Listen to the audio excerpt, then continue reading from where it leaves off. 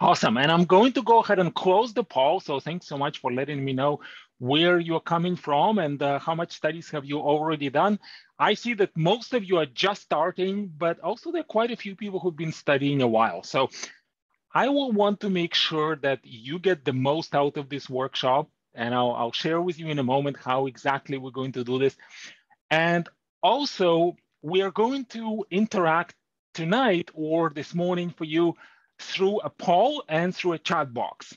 So that's how we're gonna do this. Just because of the number of people in this class in our normal and our regular GMAT mastery course, uh, you're gonna be in a much smaller class. So you'll be able to unmute yourself and be on a video. But here tonight, uh, this is just how we're going to do this.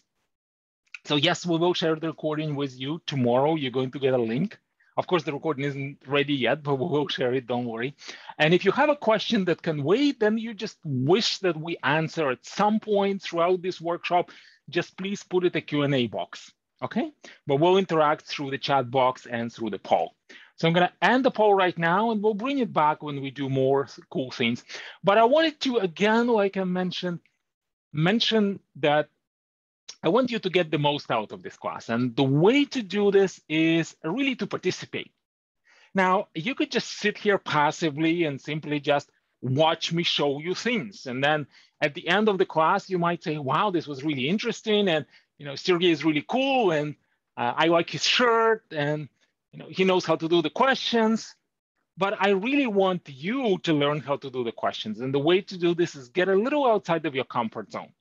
So I'm going to give you some exercises to do. We're going to do a few questions tonight, and I'm going to share with you lots of different strategies, as much as we can possibly do in these two hours. And I want you to just do them, right? Don't just sit there, watch me do them, actually do them yourself. I'm going to give you some time as we go through these exercises. So the first exercise is going to be just to warm us up. It's going to be fairly simple for most of you. Uh, and it's a, it's a fairly typical problem solving question on the GMAT. So here you go. I am going to give you literally just 30 seconds. And I'm going to ask you to share your answers here in a poll.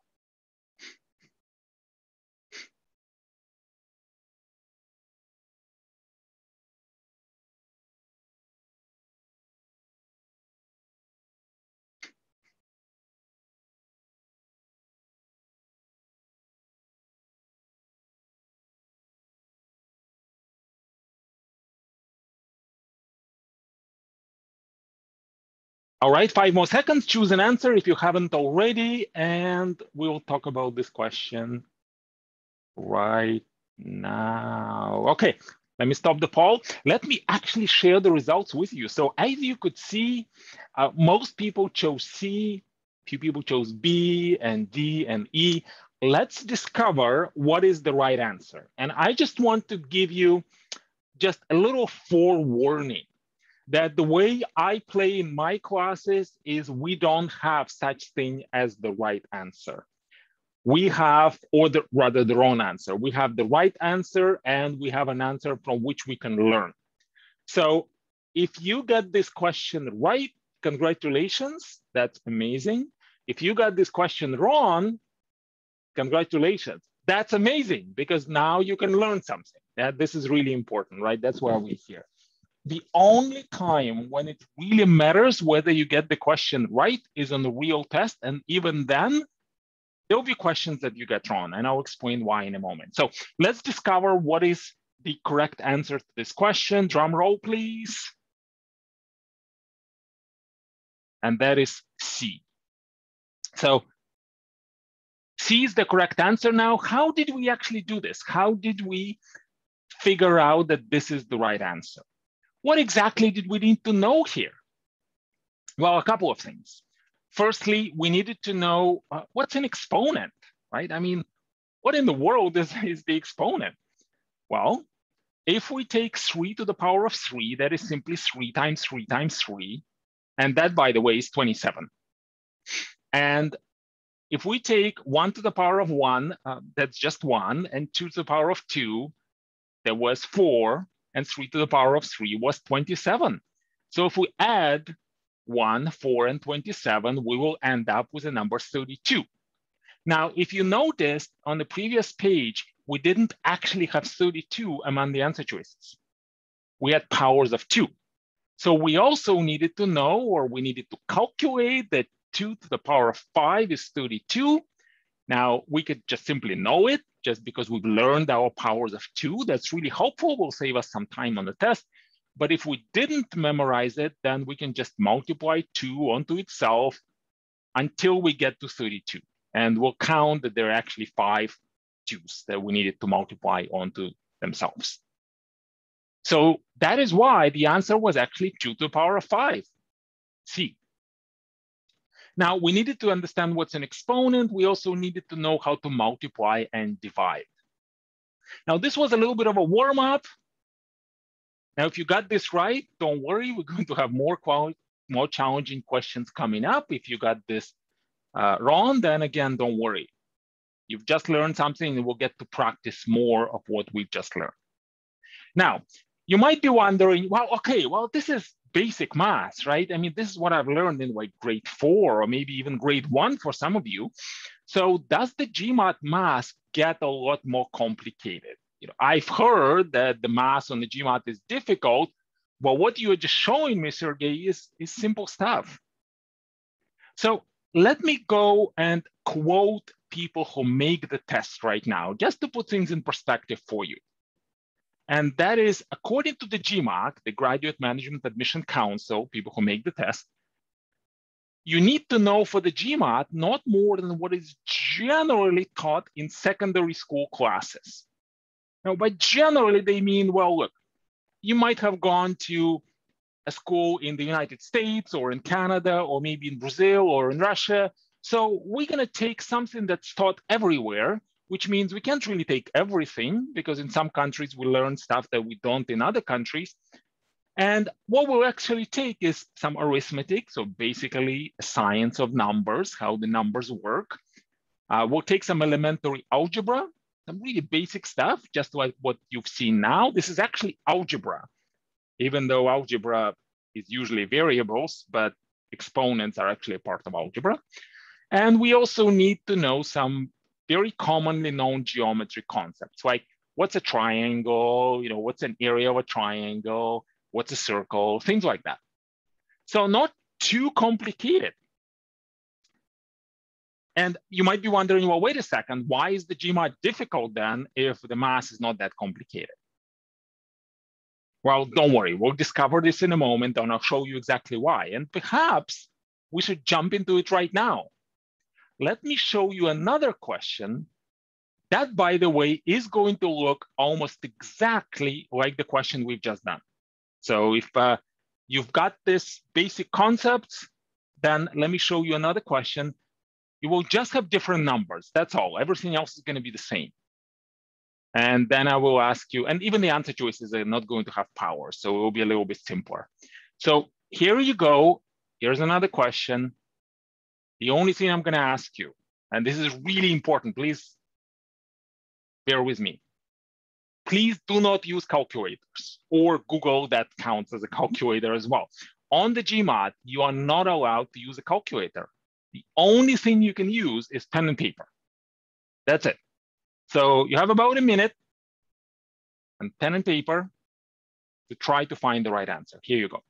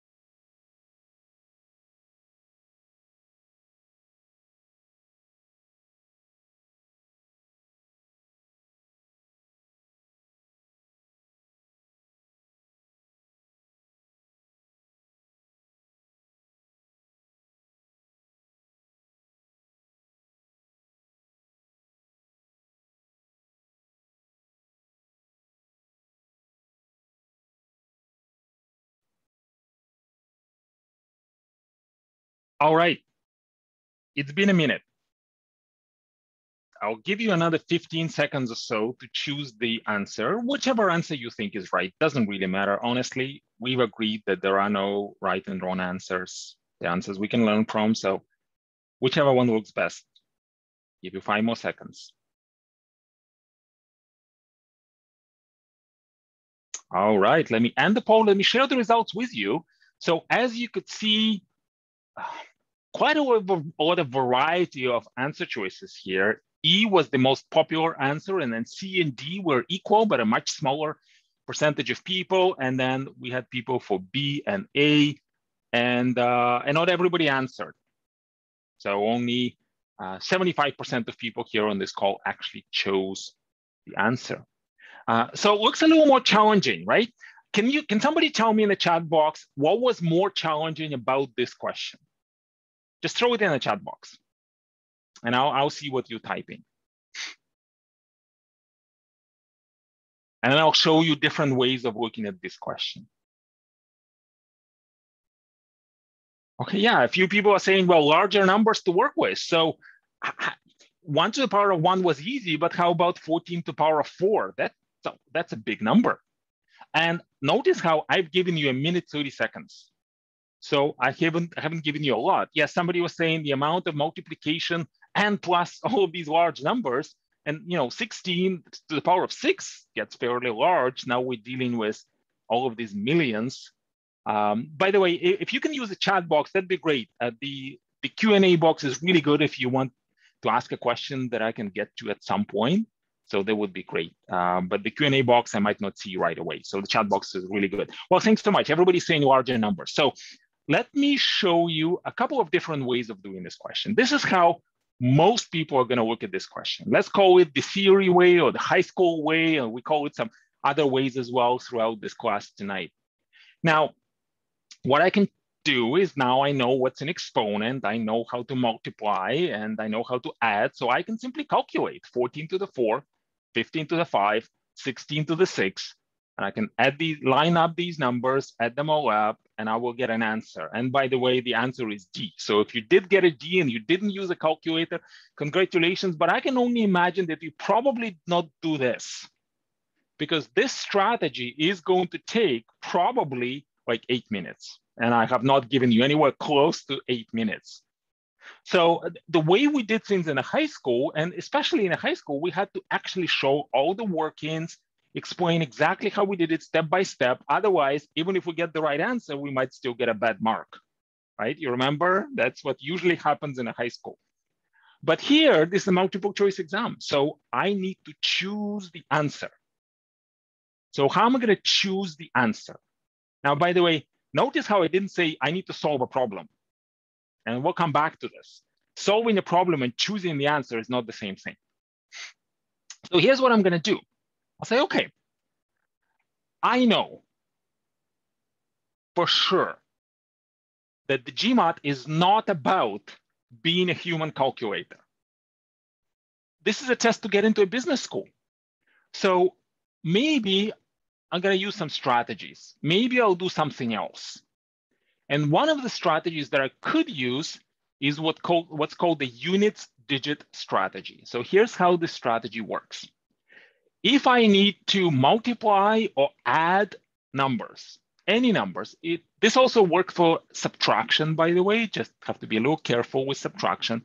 But with addition multiplication, it works really easily. So if I were to have these two numbers and if I want to multiply them, where do I start? Do I start with multiplying one by two or do I start by multiplying six by seven? Let me know in the chat box. What do you think? What's the first step? One by two or six by seven? Yeah, six by seven. A few people are saying, well, of course, we start at the end. And six by seven, by the way, is 42. Right? That's, we all remember our tens multiplication table.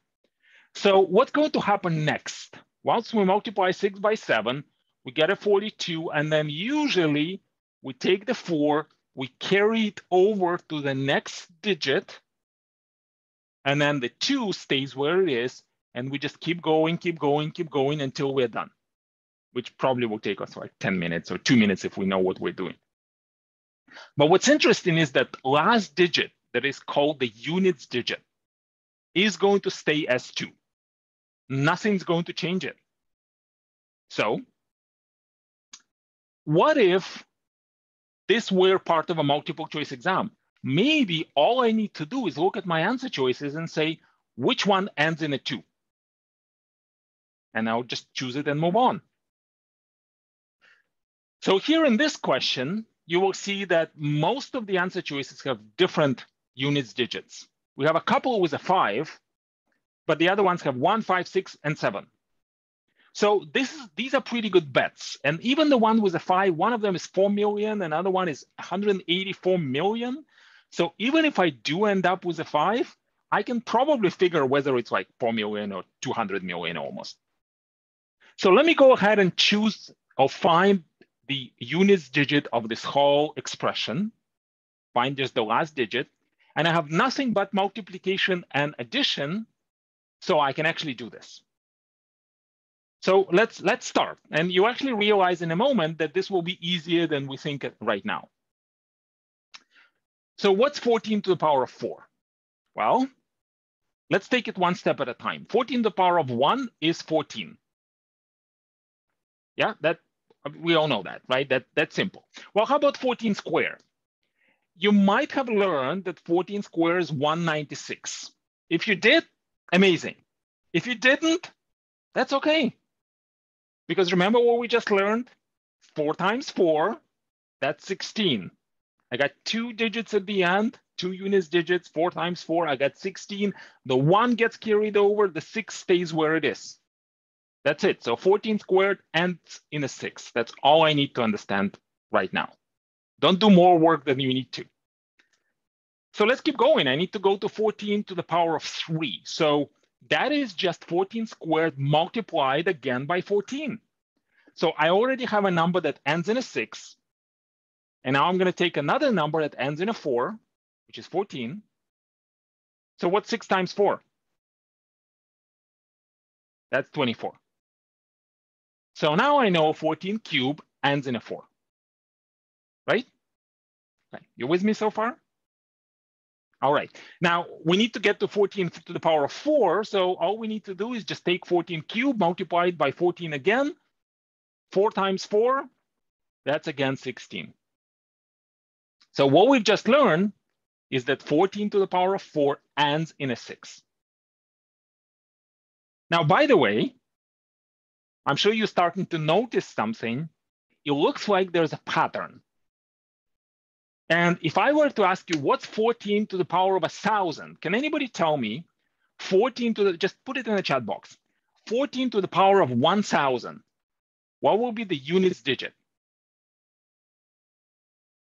Yeah, exactly. Most people are saying that is going to be six because we can notice a pattern. Whenever I had the odd power, I ended up with a four. Whenever I had the even power, I ended up with a six. So 14 to the thousand, thousand is an even number, so I'll end up with a six. All right, now can anybody tell me in the chat box, I love the participation, thanks so much. What's 15 to the power of five going to end in? Yeah, somebody's like, five, of course. Well, like a split of a second. And how about 16 to the power of six? Yeah, six, exactly. You're absolutely right. Because five times five is 25, and five times five is 25, and six times six is 36. And again, times six is 36. So I always get the same number. Well, now guess what? This is actually quite easy now because all I needed to figure out was, was 14 to the power of four. And if I knew there was a pattern, it would have been a lot easier, right? But it, it took me some time to figure out that pattern, but that's okay. We're here to learn. So now I have a number that ends in a six. The second number ends in a five. The third number ends in a six. And if we add them up, that strategy works for addition as well. Then we get a seven. Oh, thank you, Carol. You're saying this is amazing. Awesome. I'm really glad that you liked it. And now, of course, only one answer choice ends in a seven, and we can literally do this in just two minutes. So this strategy should be one of your staple strategies, the units digit strategy. Now, of course, there's certain scenarios where you could use it and certain scenarios where you can't, but this is an awesome scenario because we can't really calculate that number. That's impossible within two minutes. The units digits of the answer choices are all different or sufficiently different. And we also know there's a strategy that we can actually use, and we can do this really quickly. Well, I'm glad you enjoyed it, but I have a question for you. Is there a way to do this question even faster? So we can do this in two minutes and maybe a minute, but what if you have just 15 seconds left? And this is the last question of your exam. And you literally you just have to get it right. Maybe it's 30 seconds left. So maybe you don't have time for this units digit strategy. So let me show you another way. Let's call it the mastery way of doing this question. This is when you really master this process. And um, let me ask you a question. And you can put it in the chat box if you want. I will see your chat, nobody else will see. But can you tell me if you are just maybe a little bit of a risk taker? Just let me know. What do you think? Maybe you played poker at some point, or maybe, yeah, awesome. A few people are saying, yes, I am. Well, let me show you a scenario where you're going to take a little bit of a risk. And by the way, remember, we're trying to get into a business school. Getting into a business school is maybe a little bit of a risk because you get into something unknown. And when you're going to become a, a manager or a CEO, sometimes you have to take risks. So that's what we're going to do here. And remember, we have very limited time. So here's what we're going to do We'll look at the question, but we're also going to look at the answer choices. And in the answer choices, there's something we can notice. What we're going to notice is something that's actually quite important, and that was that the answer choices were quite far apart. I don't know if you noticed that when you looked at it at first, most people do not look at the answer choices. They just try to solve the problem and then look at the answer choices and try to match their answer with the answer choices. But what if we did look at the answer choices? We would actually notice that, that the answer choices are apart. So what does this mean when the answer choices are apart?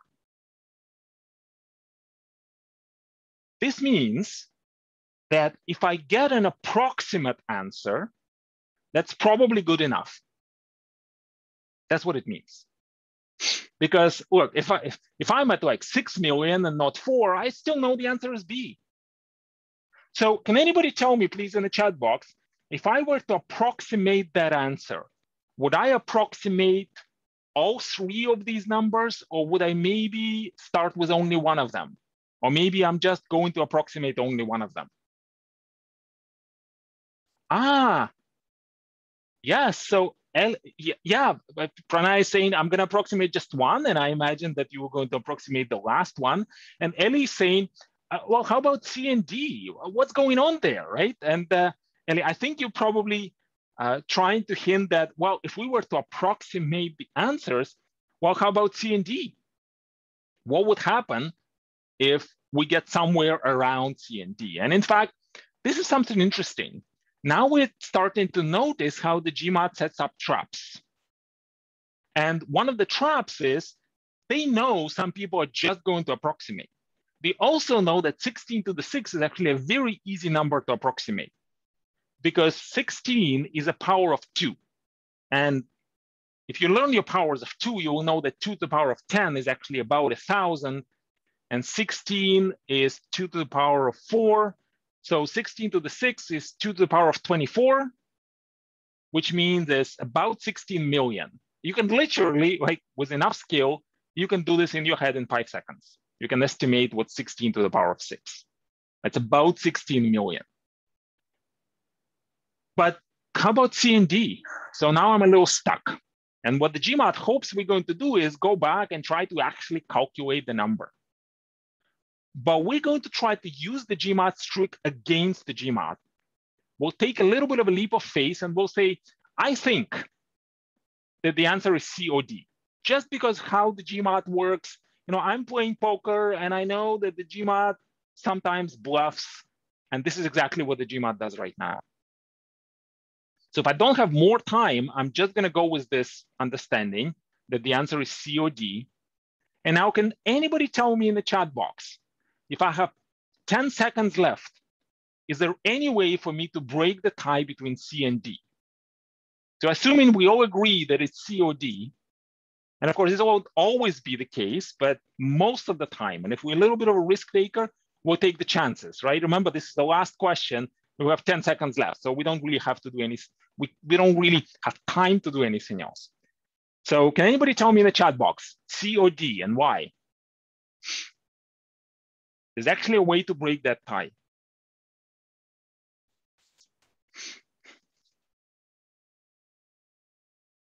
Ah, yes, thank you, Ellie. Uh, and I have a couple more comments. Yes, you guys are absolutely right. Now we can actually see that one of these numbers is even and another one is odd. Well, the original question was even plus odd plus even. And of course, that gives us an odd number.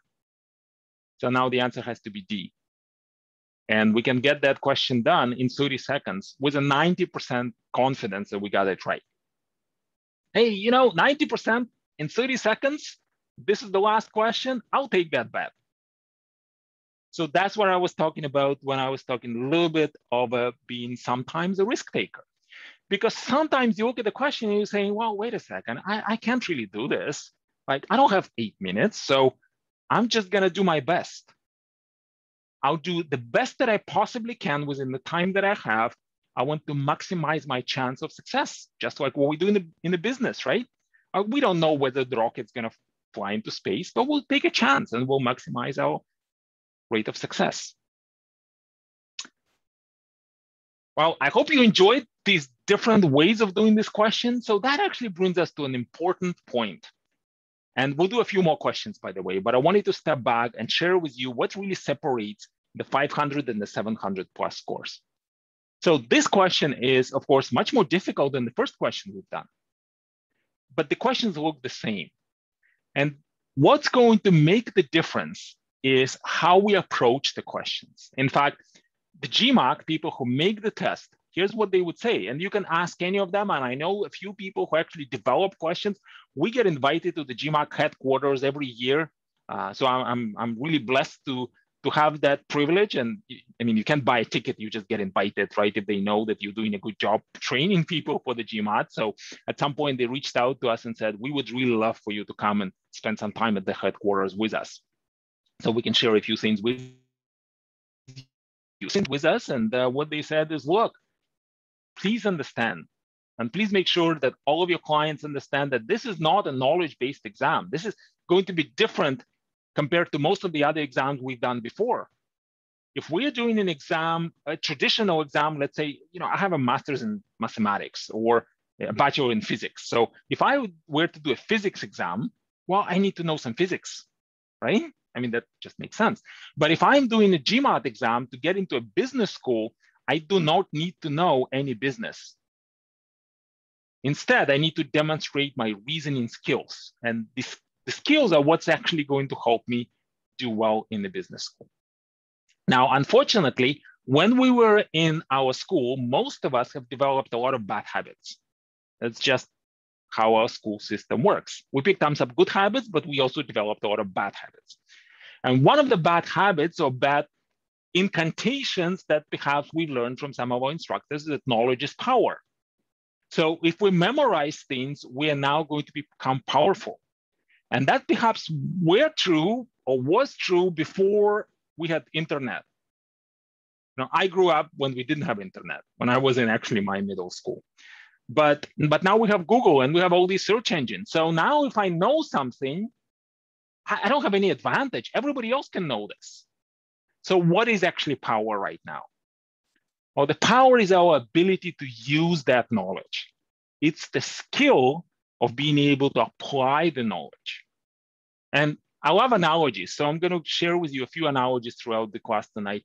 And one of the analogies is that the GMAT is almost like a sport. I don't know if you guys are watching Olympics, but you know when you're competing in the Olympics, you're demonstrating a skill, right? And you probably trained a lot. You had a really good coach. You invested lots of time, and now you're actually showing how to swim, or you're showing you know, how to ski or how to play football, soccer. But it wasn't just about reading a book and memorizing the rules of swimming. It was about getting into a pool and it was about swimming and it was about maybe seeing what's what's working and what's not working. And that's exactly what we're doing now. So as you're doing the question, try to see, okay, so where did things go wrong? And if we work together, if you come to our GMAT mastery program, then we'll actually do a lot of this together and I'll be able to give you some coaching. But here today, as long as you participate, as long as you throw things in the chat box, I'll be giving you some coaching. I'll be sharing with you a few ideas of how you can actually improve and develop that skill. But please keep that at the back of your mind that training for the GMAT is going to be almost like training for any sport. The only difference is, unlike the Olympics, almost everybody can be a winner. Almost everybody can get a good score as long as you dedicate dedicated enough. There's no first, second, and third place.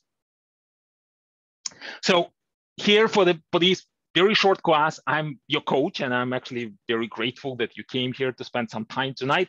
Uh, what qualifies me, by the way, to be a coach here for this short time, and hopefully for much longer if we work together, is I've done really well in my GMAT, and I've done that after about two weeks of studying. By the way, if you would like to know how exactly I studied, it doesn't necessarily, it's not necessarily something that everybody can follow, but if you want to know exactly what I did, then please come to our verbal refresher class in two weeks and I'll tell you exactly what resources I've used. Right? And today I'm gonna share with you a few different things. Uh, but in case you're wondering, well, gee, Sergey scored in the top 1% after two weeks of studying, he's probably some sort of a genius. And the answer is not, absolutely not. I am not a genius. And uh, just like I mentioned, for full disclosure, I do have a master's of mathematics and a bachelor of physics. I went to uh, an institute that's almost like the MIT. I don't know if you guys heard of MIT, uh, very prestigious science university in the former Soviet Union. Uh, but I wasn't like coming up with these famous formulas. I'm not an Einstein. How I was able to do so well on the GMAT is actually not because there was something special I learned in my university, but it was because when I was in my middle school and in my high school, I got very lucky with teachers. And this was my math teacher who was literally, he was just so gifted as a teacher that he taught me and all of the children in the class to really think how think outside the box. He taught us the strategies that you can't find in a high school textbook. And as a result, I I did really well in almost any standardized test. I uh, participated in some Olympic games in math and physics and programming, all kinds of other cool things. And um, after I've done my MBA, which was my third degree already, I actually, after some time, I worked for a big company and then I became a GMAT instructor by accident. And I realized, number one, I really love it. And number two, my students came to me and said that they really like the way I teach. And they came to my former boss. So I just became a full-time instructor after some time. And I've been doing this now full-time for seven years. I've been teaching the GMAT for about 12 years. And what my goal is, is to number one, make sure you enjoy the study process. And number two, you learn a lot of cool strategies. What I've learned from my teachers and what I've learned from a lot of other teachers, I always have teachers. Even now, I work with a lot of people who I think are smarter than me. And one of the one of the reasons why I make this claim is I actually have the lowest score among all instructors here at AdmitMaster. I have just 750. Everybody else has 750, 770, or 760, 770, or 780. Uh, but what we teach in our class is, is really how to think outside the box. And I wanted to show you just maybe one example here from Daria. I was just speaking with her a few days ago. She's starting her program at the London Business School in, in literally a few days. Uh, and originally her score was not very high at all. But she came to our class, she was super dedicated, and she said, look, I need to learn how to think outside the box. That's what the GMAT is going to be about. She came to actually one of these classes and she said, this is what I need. And what she learned over three months with us is how to approach these questions, how to manage time and stress, which is really important. We're going to get back to this and I'll give you some strategies as well. And ultimately, how to think differently, how to think on a totally higher level. What we call here at AdmitMaster, think like a CEO. And I'm actually going to show you exactly how to think like a CEO. And of course, we're supporting her along the way, even with her application and she applied to four top schools in Europe and she got into all four of them. And she chose LBS. So what we've already done here today, and I'm, I'm going to share with you where we're going as well. So we did a couple of questions to challenge you to get outside of your comfort zone. We talked about what separates the 500 and 700 scores, which is skill, right? That not just the knowledge, the theoretical knowledge, but the skill. Uh, we started learning some practical quant strategies. We've already learned a couple. We learned estimation. We've also learned uh, units digit strategy. I'm going to share with you a few more. I will give you the step-by-step one to get to a 700 plus score. I'll share with you a few resources to help you study at home. And then we're going to have a special guest from the Ivey Business School at Western University in London, Ontario, uh, JD Clark, who's an executive director of recruitment. I love these tips that JD is going to share. And actually what we did tonight, which is a very special time, is we've collected a few questions that we got from our students, and I will do a, literally an interview with JD here on camera tonight, and you get to be a part of that interview. And you're not going to be on camera, so don't worry. Uh, but I and JD will be, and I'll ask him a few questions. And if you have any questions for JD as well about how to get into Ivey or how the whole application process works, just put it in the Q&A box and we'll make sure to address them as well. And at the end, uh, we'll stay as long as we need to for Q&A, and I'll give you a few bonuses as well. Some of the resources, some of the free resources, some of the affordable resources that are going to help you get to where you need to be. All right, so now that we know what we're actually going to do, now let me show you, and this is something that I'm sure that most of you have seen before, but I want to show you this from a different perspective, and this is the format of the test. Now, you know there are four sections on the test. And when I ask, I do a lot of consultations and I do a lot of these seminars, honestly. And when I ask our future clients, well, tell me what the section, what sections on the exam do you know? Most of the people are going to say, ah, there are, you know, four sections and there's an essay and there's the math and the English and there's something else. But here's something important is uh, there actually is no word math. We see analytical section, we see integrated reasoning, we see quantitative reasoning, we see verbal reasoning section. So it's really all about how we think. It's how about how we analyze things, how we reason. It's all about the logic. So even in the names of the section, the GMAT tells us, ah, we're gonna do something different here. We're gonna find a way to reason through the problems. And we'll do, I'll show you a couple more examples how you can actually do this. Now, how the GMAT actually does this is it breaks the sections down into different types of questions. Now, the two sections that contribute towards your total score, 200 to 800, are the quantitative reasoning and the verbal reasoning sections. So tonight, we're actually talking about the quantitative reasoning section, and there are two types of questions, problem solving, which is already seen, we'll see some more, and data sufficiency, which we'll also are going to see tonight. So that's today. And where we're going next is in two weeks, we're going to have a verbal reasoning uh, uh, section workshop, uh, our verbal refresher class, where we'll talk about sentence correction, critical reasoning, and reading comprehension. Now, remember we talked about getting the questions right and wrong right at the very beginning. And one of the things I mentioned is that at some point you're going to get start getting questions wrong. And that is why the test is adaptive. So the algorithm that the GMAT uses is if you get the question right, your next question will generally be harder. And if you get the question wrong, your next question will generally be easier. That's how the test works. So at some point, the questions are gonna get so hard that you'll probably start getting the questions wrong. And that's completely okay. That also means that we have to have the right frame of mind that uh, sometimes I will take the risk and I will just play this game that I just want to try to get as many questions right as possible. That's really it. I can't get all of them right. I'm just going to get as many as I possibly can. So that's important. And it's also important to know what to expect on the GMAT because if I know that the questions are going to get progressively harder, but I'm not getting more time, I need to know the strategies that are going to help me save this time. And I'll show, with you, show you a couple of more strategies tonight that are going to help you save time. But I want to ask you a question now, because I've been talking for a while. Why do you think is mass on the GMAT hard? And perhaps uh, I'm going to launch a quick poll just so that I can hear from you.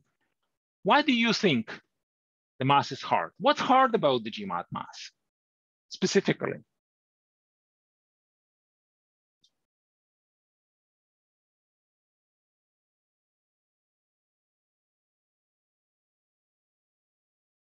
Okay, I'm seeing here, uh, most of you are saying time pressure. Very little time per question. So time management is actually really important. That's why here in this workshop, every minute of this workshop is, is timed and, and planned. Because if you come here to this workshop, and I know you didn't pay anything to be here in this workshop, but you've dedicated two hours of your time. And if, if you're trying to get into a business school and and of course, I know you're very serious about getting into business school. And if you think like a manager, you know that time's actually so much more important than money. If somebody asked me to spend two hours doing something I don't like versus maybe giving them $20 or $100, I'd rather give them the money and save my time because I can never get the time back, but I can always get the money back. Uh, yeah, somebody was saying, uh, well, some of the rules that we use on the GMAT are the rules we don't really use every day. For example, I don't really use prime numbers every day. I don't really use odd and even numbers every day. And that brings us to that point that it's been a while since I've done this sort of a math. Many people are saying, well, you know, I'm not really a math person. And uh, time pressure is, is still the most popular answer. So thanks so much for sharing this. These are all really good reasons and these are all valid reasons. So how are we going to conquer this? How are we going to attack this? And how do we actually manage our time? Well, let's do a question. Shall we? I think it's time that we do the next question. And this is now going to be an algebra question. It's going to be another problem solving question. And again, the only thing I'm going to ask you is please do not Google this question. Please do not use a calculator. Use your pen and paper to do this question. So here's how the question is going to look like. And then of course, we'll talk about this question. We'll talk about the time management and everything else. So here's the question. You have a certain table or a chart, and then there's a question about this chart. And here's the question. And of course, we have the answer choices. And here are the answer choices. So I'll be quiet for about a minute and a half. And I'll let you work on this question. And as always, I'm going to ask you for your answer. There you go.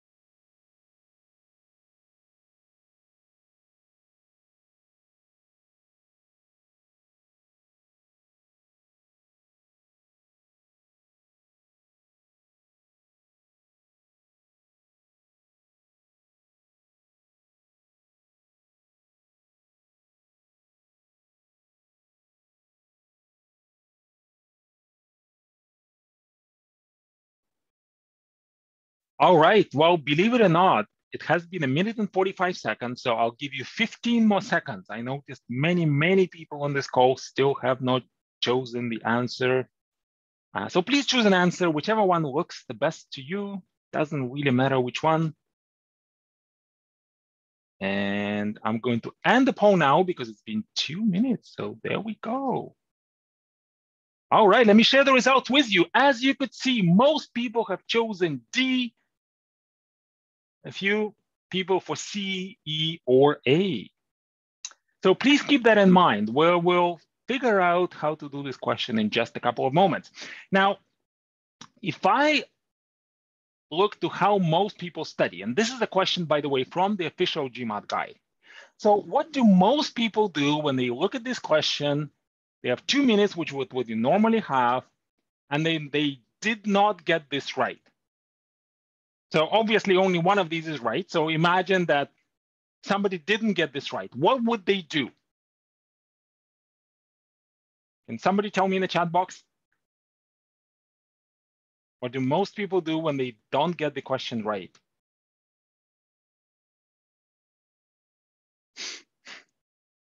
Okay, yes, thank you. Most of you are saying, I'm going to read the explanation. So this is how the explanation works. And uh, this is what you're probably going to see at some point when you're doing this question. At some point, I would maybe imagine that most of you had a formula that looked something like this. Or maybe you didn't have this formula, but you maybe were trying to create this sort of a formula. Because what's going on here is we know that there's a total number of marbles, and we also know that there's a certain percentage of marbles in each of the bags which are blue. So if we take 37, which is the number of marbles in bag P, and we multiply it by 10.8%, which is 10.8 divided by 100. And then we have X and 66.7% and 32 and 50%. And if we add all of these up, we are going to get a number of blue marbles. So the next thing we're going to do is we'll say, okay, but if we calculate the total, then we need to know that the total, then the, the total is 37 plus X plus 32, and a third of them is actually the number of blue marbles. So the left side gives us a number of blue marbles, the right side gives us a number of blue marbles, and uh, God bless us that we can find the answer in two minutes or whatever you believe in. And then hopefully we'll actually find the right answer. We'll find out in a moment if we did. This, to me, you know, this is a lot of hard work. And, you know, I, I love hardworking people. And uh, we that, that's really important. And you know, if I ask you, are you a hardworking person? You'll probably say, yes, I am. You know, I work so hard. But this to me, this is the work hard way of doing this question. See, doing things the hard way isn't necessarily going to get us to the right answer in two minutes. Maybe it will, maybe it won't. By the way, how difficult is this question? What do you think? Is this a difficult question, yes or no? Can somebody throw it in the chat box? Ah, wow, wow. I'm impressed actually. The most of you are saying this is a medium or a, a, an easy question. If we were to go, yeah, yeah, some of you are saying, okay. So I actually looked this question up on GMAT Club. You know, where there are a lot of people, they're trying to share some ideas and they rank the question and they also see how many people get that question right. And based on this, they actually say, oh, this is an easy question. This is a hard question. So just in case you're wondering, or if you're interested, this is question number 161 from the official guide 2021 or 2022. So feel free to look it up on the GMAT Club and you will see this is a very hard question. That's how it's classified. Very hard basically means, well, don't try unless you're an expert, right? That's what they say. Okay, now, if this is the work hard way, is there a different way? Well, let's see. Maybe we can do something here to try to simplify this problem a little bit. Because I was given a table. What if we take that table and extend it a little bit? What if I were to say, okay, well, I'd like to know if I was told that I have 37 marbles and 10.8 of them are blue, then how many blue marbles do I actually have in back P? Can anybody tell me?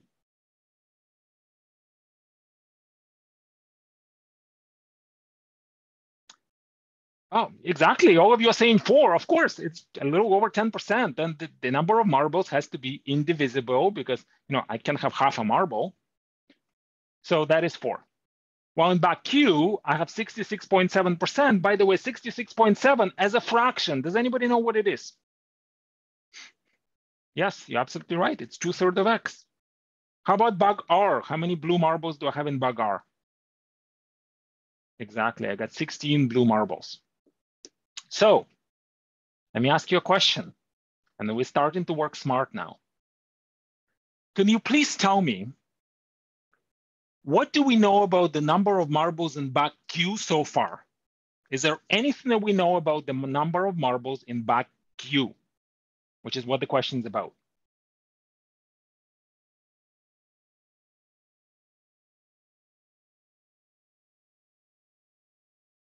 Something we already know. It's not two thirds of the total. 66% of them are blue, yes. So what does this tell us about the number of, yeah, more of them are blue. Okay, what else do we know? Yeah, have the greatest amount. Well, what else do we know? If two thirds of them are blue, yes, thank you. Nastasia is saying it needs to be divisible by three. So let me ask you a question what answer choices are not divisible by three? Because if two thirds of them need to be blue, wow, Carol is saying, wow, amazing, right? A, D, and E are all out. So now we're down to B and C. Now remember, most people chose D, by the way. Hmm, so what do we do now? We have two answer choices left. So let me ask you a question. Maybe at this point, we can just try one of them and see if it's right. So how many do we need to try now? We have two left. How many, do we need to actually try? One or both? Just one, yes, you're right, just one, because if we have one, two left, only one of them could be right. So let's try one. Somebody was saying, let's try C. Okay, so sure, let's try C. So what I'm going to do is I'm actually going to pretend that X is 12. So let's plug it in into back into our chart. So now we have 12. What's two thirds of 12?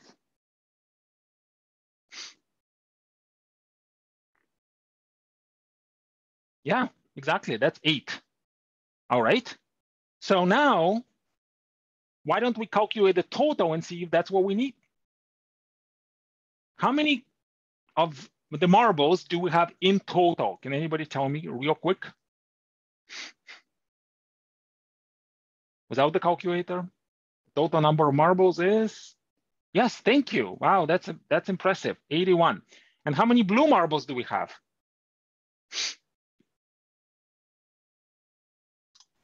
Wow, I'm so impressed. 28. Yes, it is 28. Now, is 28 one third of 81? Yes or no?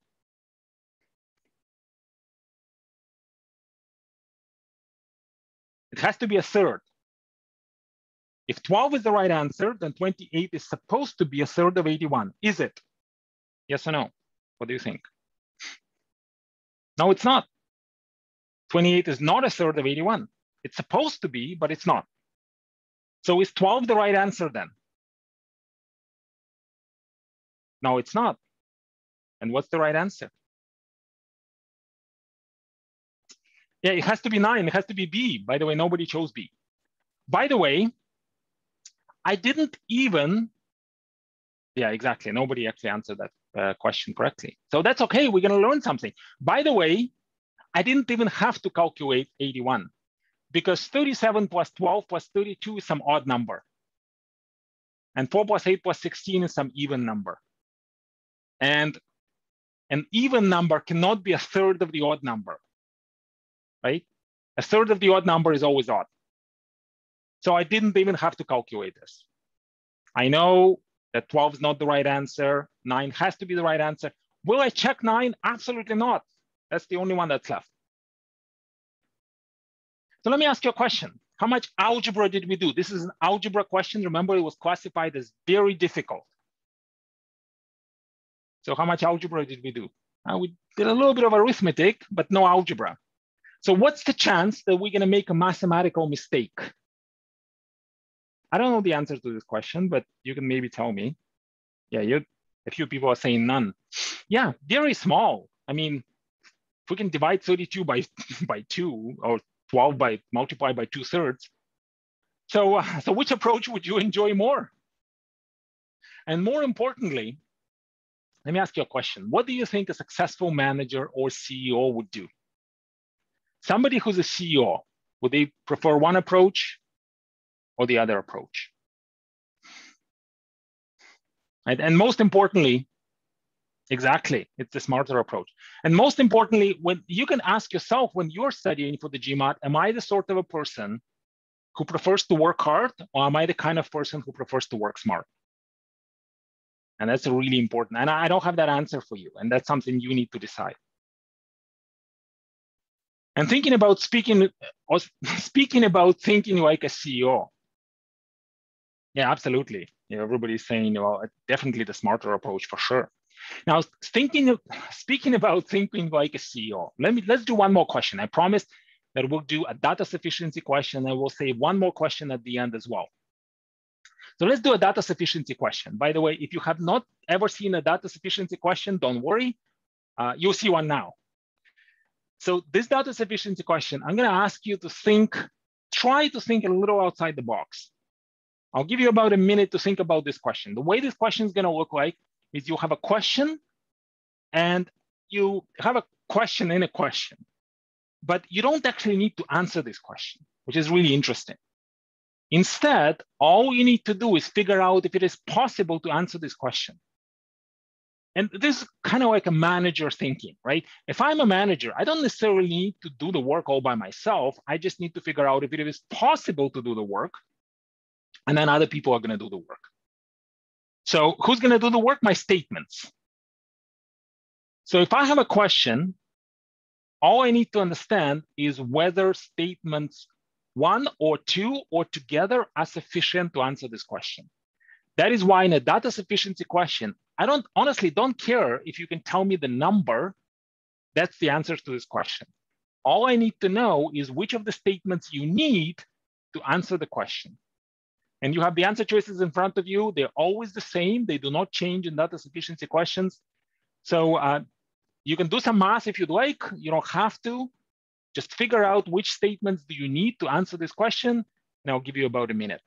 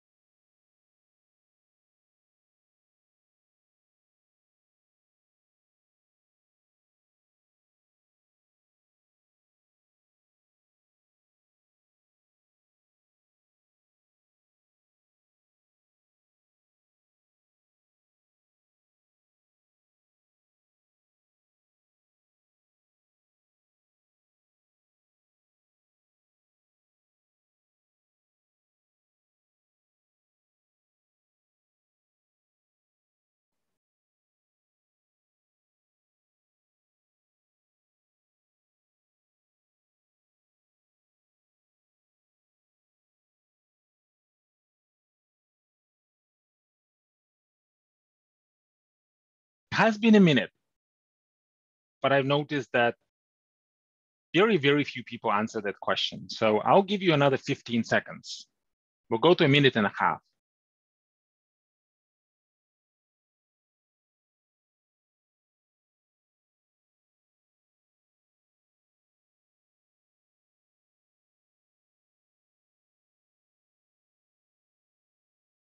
All right. Let me end the poll right now. Let me share the results with you. As you could see, C seems a very popular answer here. It stands for correct, by the way. C stands for correct, so that's why it's most popular. By the way, it is the most popular answer on the GMAT statistically, but uh, realistically, it's right only 20%. But statistically, more people choose C more often. So let's see if C is actually the right answer. Now, again, there are different ways of approaching this question. This is another question from the official GMAT guide. So if you look at the official explanation, here's how it looks like. Let R be the regular price and D be the discounted price and P1 be the profit one and P2 be the profit two and oh my God. I, I need a master's degree to even understand this. By the way, you might be wondering if you've spent some time with the official guide, why is the official guide so terrible in explanations? And that is exactly why you do really need a master's degree to understand the official guide because the explanations in the official guide are not written to help you break the test. They are written essentially for legal purposes. The GMAT needs to theoretically prove, just like we proved theorems in our school, that this is the right answer so that nobody can go after them and say, oh, wait a second, you didn't actually prove to me. I still don't believe this is the right answer. So that's what they do, but they don't actually teach us how to do it. So let's think like a CEO. Let's think a little bit differently here. If I'm a manager of this store, let me try to understand, or let us try to understand what's going on. Now, if somebody walks into our store and buys one shirt we're going to make a certain amount of money, a certain profit. But if somebody walks in and buys two shirts, what we're going to do is we will make exactly the same profit. That's what the question was explaining, right? That was right in the middle. We make the same profit from two shirts as we make from one shirt. So what does this mean? That means that we want to create an incentive for our customers to buy two shirts. And by the way, if you walk into a store and you see the second shirt on sale, are you more likely to even buy the shirt in the first place? Probably yes, right? It's not that important for this question, but this is just some, there's some business rationale for what they've done. But what's important is to understand that we're making exactly the same profit from two shirts as we are from one shirt. That means the profit is all from the first shirt. There is actually no profit from the second shirt. Right? Get so far? Now, if we're making no profit from the second shirt, that means we're selling the second shirt at cost, right? Because the profit is revenue minus cost.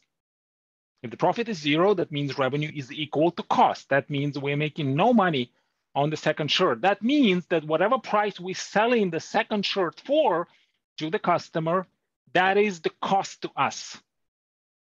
Make sense so far?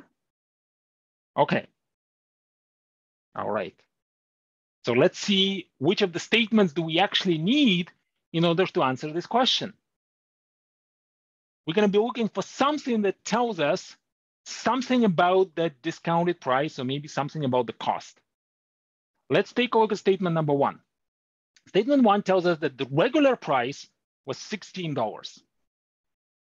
All right, well, that, that's interesting but by itself, it is definitely not enough. I need to know the discounted price or I need to know something about the cost. I just know the regular price. That's not sufficient. How about statement two? What do you think? Can anybody tell me in the chat box, what do you think about the statement two? Statement two tells me that the cost to the store of each of the shirts was $12. Is that enough? Yes or no?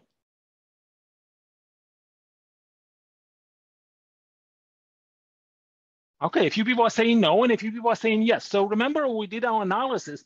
We've actually figured that the price that we, the discounted price of the second shirt is actually equal to the cost to the customer.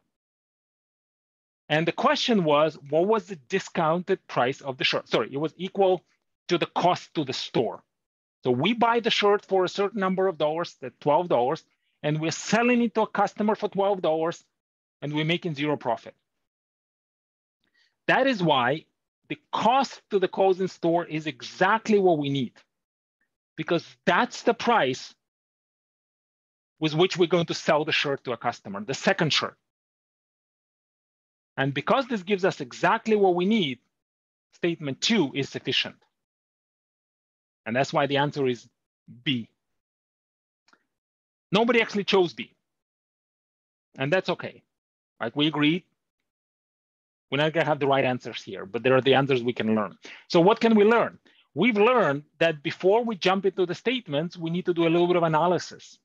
We've learned that perhaps thinking on a higher level, thinking like a manager is going to be important. Perhaps understanding what does it mean that we're making no profit from the second shirt and profit is revenue minus cost. This is one of the very few business formulas that we actually need to know, but it is very basic. And we can literally do this in one minute. Now, of course, many of us haven't necessarily been thinking that way or approaching the questions that way. And honestly, to do this on a real test is going to require some confidence. It's going to require lots of practice and building up the confidence as well. And when we're studying a lot, and sometimes when we're not seeing progress, our confidence begins to suffer. In fact, let me share with you a story of one of our clients. Uh, is from Montreal, and she's been studying for about four years. She told me that she has these books, or she had these books on her shelf, and she was pulling up these books once in a while. She was doing the question. She understood that the test is really difficult, and then she would put the books back on the shelf. You might relate to this. And what eventually helped her is two things number one, having the right structure. If she needed, if she knew what she needs to do every single week, how many questions she needs to do, uh, what questions she needs to do, and being a part of a community where somebody is guiding her, but also somebody is having her back, but also somebody is behind, beside her, so that she can actually study with other people as well. And that was a real game changer. She was able to achieve her results in just three months and this is not an isolated example. I've shown you Daria, who got from 380 to 700. Well, Darini was actually in the same class with her. And what was important is, especially for Darini, because she built up so much anxiety over these four years, she didn't even want to touch the GMAT. Just a friend recommended that she join our class, and she's like, "You my only hope." I said, "Wow, I feel like a Jedi, but sure, let's work on this together." and and that was important. So she needed to have a plan and most of our students would have a plan week by week. Darini had a plan day by day. And that's how she achieved her goal.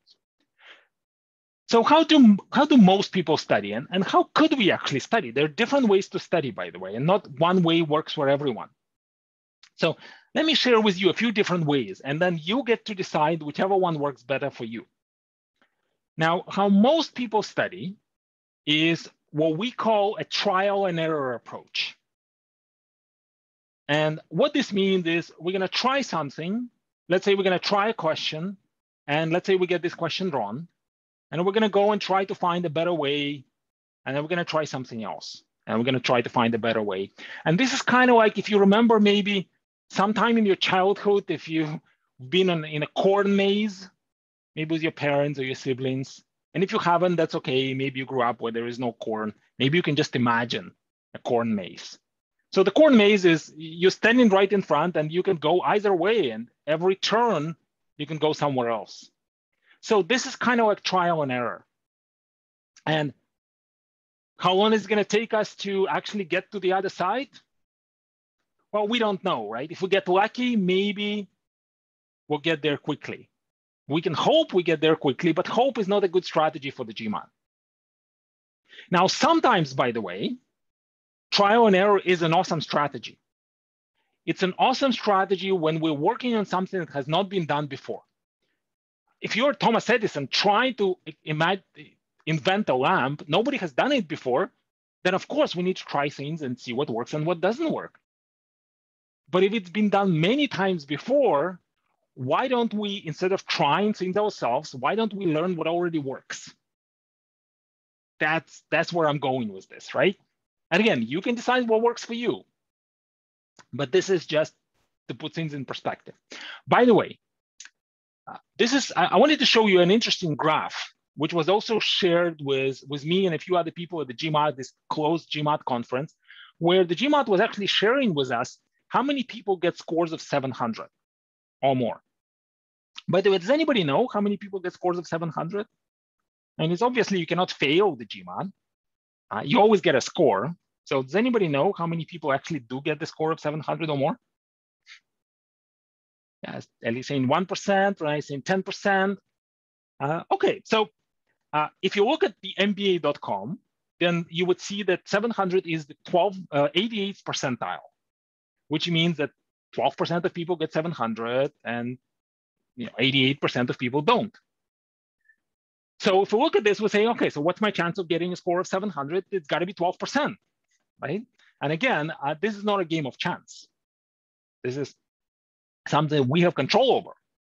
But what was interesting is that there's a metric that the GMAC uses, and a, a, few years ago they started keeping tabs of this. In the past, they were just saying, you know, how many people take the test and how many people get a score of 700. That's an easy metrics.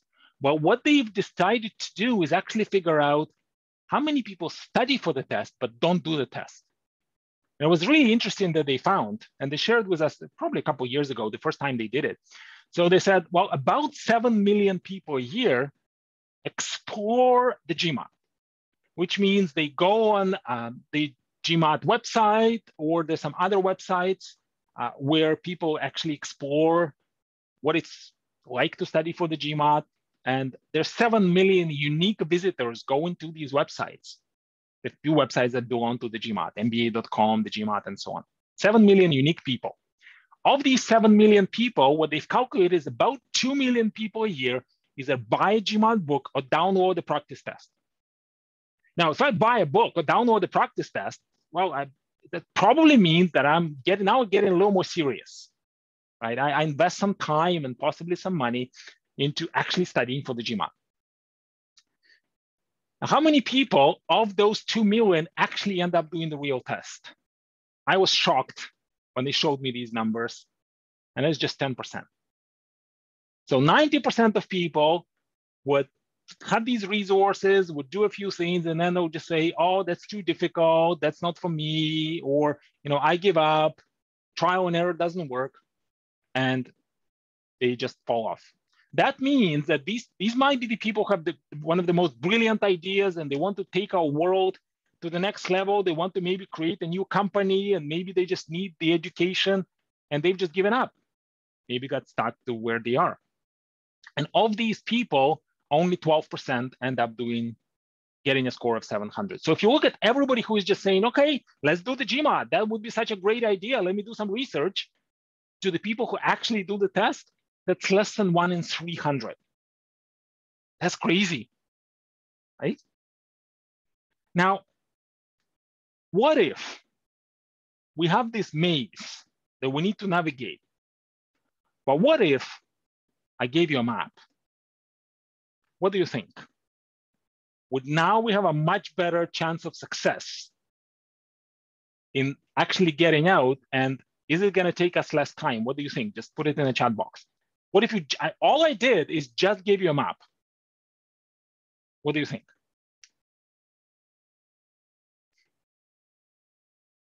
Yeah, absolutely. Andre is saying, yes, if I have a map, let's do it now oh my God, now I know exactly where I need to go. I mean, I might still make a wrong turn because I don't necessarily always know exactly where I am, but I'll definitely get there a lot quicker because I don't have to do trial and error and figure out things that have been done many times before. And this might be one of the ways for you to study. And by the way, of course, I'll relate it back to the GMAT. But is there an even better way? And yes, there is. What if you have somebody who already has been there before. And somebody is going to hold your hand and say, let's go. Let's walk this maze together. Now, some of you might be saying, well, the actual process of being in a maze and making all these turns, that's actually a lot of fun. So I want to spend as much time as I possibly can and just play around in a maze. But I imagine that most of you, when it comes to the GMAT, don't really want to spend too much time studying for the GMAT, right? You want to get to the other side and that's why if, if you are the sort of person who values this time and you're the sort of person who generally prefers to have a guide, you know, I, I, I know when I'm going, let's say, to a new city, sometimes I can just walk the city, I'll go look at the buildings, I say, wow, this is really wonderful. I remember I was in Barcelona. I was like, oh, wow, that's amazing. That's really beautiful. But then I took a tour around Barcelona and I'm like, oh my God, like this building actually was built by someone and this is exactly the same style that's in the other building and that's why and there's some history behind it and all of a sudden i'm enjoying it a lot more. Exactly. Yeah you just basically you just follow the plan. So if you're the sort of person who likes to just follow a guide and follow the plan and get to the other side as quickly as possible then you could join our live program. This is what we call the all-inclusive live training and this is this is really the program that's designed for people who want to get scores of 700 or more. And the way that it works is essentially uh, you're going to be in a class for about six to 12 weeks. It's going to be a much smaller class. It's live, it's interactive. We'll give you all the study materials. We're literally going to hold your hand and we'll walk you through everything. And because we know what you're doing as well, we, we kind of have a view of, of everything. Even everything you're doing online, we can have a, a view. And of course, in a class, you can always ask questions. And with this program, we'll coach you until you are done. That's really our promise. And there are a couple of different formats. There's a format on weekends where you could uh, join on Saturdays and Sundays from 10 a.m. till 2 p.m. And there's a format on Tuesdays and Thursdays from 6 till 10 p.m. if this is an Eastern time. And uh, it's it's approximately 15, 1600 dollars. Uh, can get to up to about 1700 Canadian dollars. It's a little bit less in US dollars. And it's, uh, it's really the program that's designed to give you everything that you need from start to finish. So if you're the sort of person who likes this, this is an amazing option for you. Now, there are other options as well. If you're the sort of a person who just likes to get a map, then another thing that you could do is get the program that will give you the map, but perhaps won't have as much support. Perhaps won't really necessarily have that live person who's going to be walking with you. And again, you have to decide this. I'm I'm not the person who can make this decision for you. It's really something that you have to just feel what's right for you. And let me just show you a couple of different options that you could take. So our live course is you're going to be in a live class and the way that you're going to study is basically being in a live class. You can ask any questions either in class or we have office hours every week as well. You have three private classes, lots of questions to practice.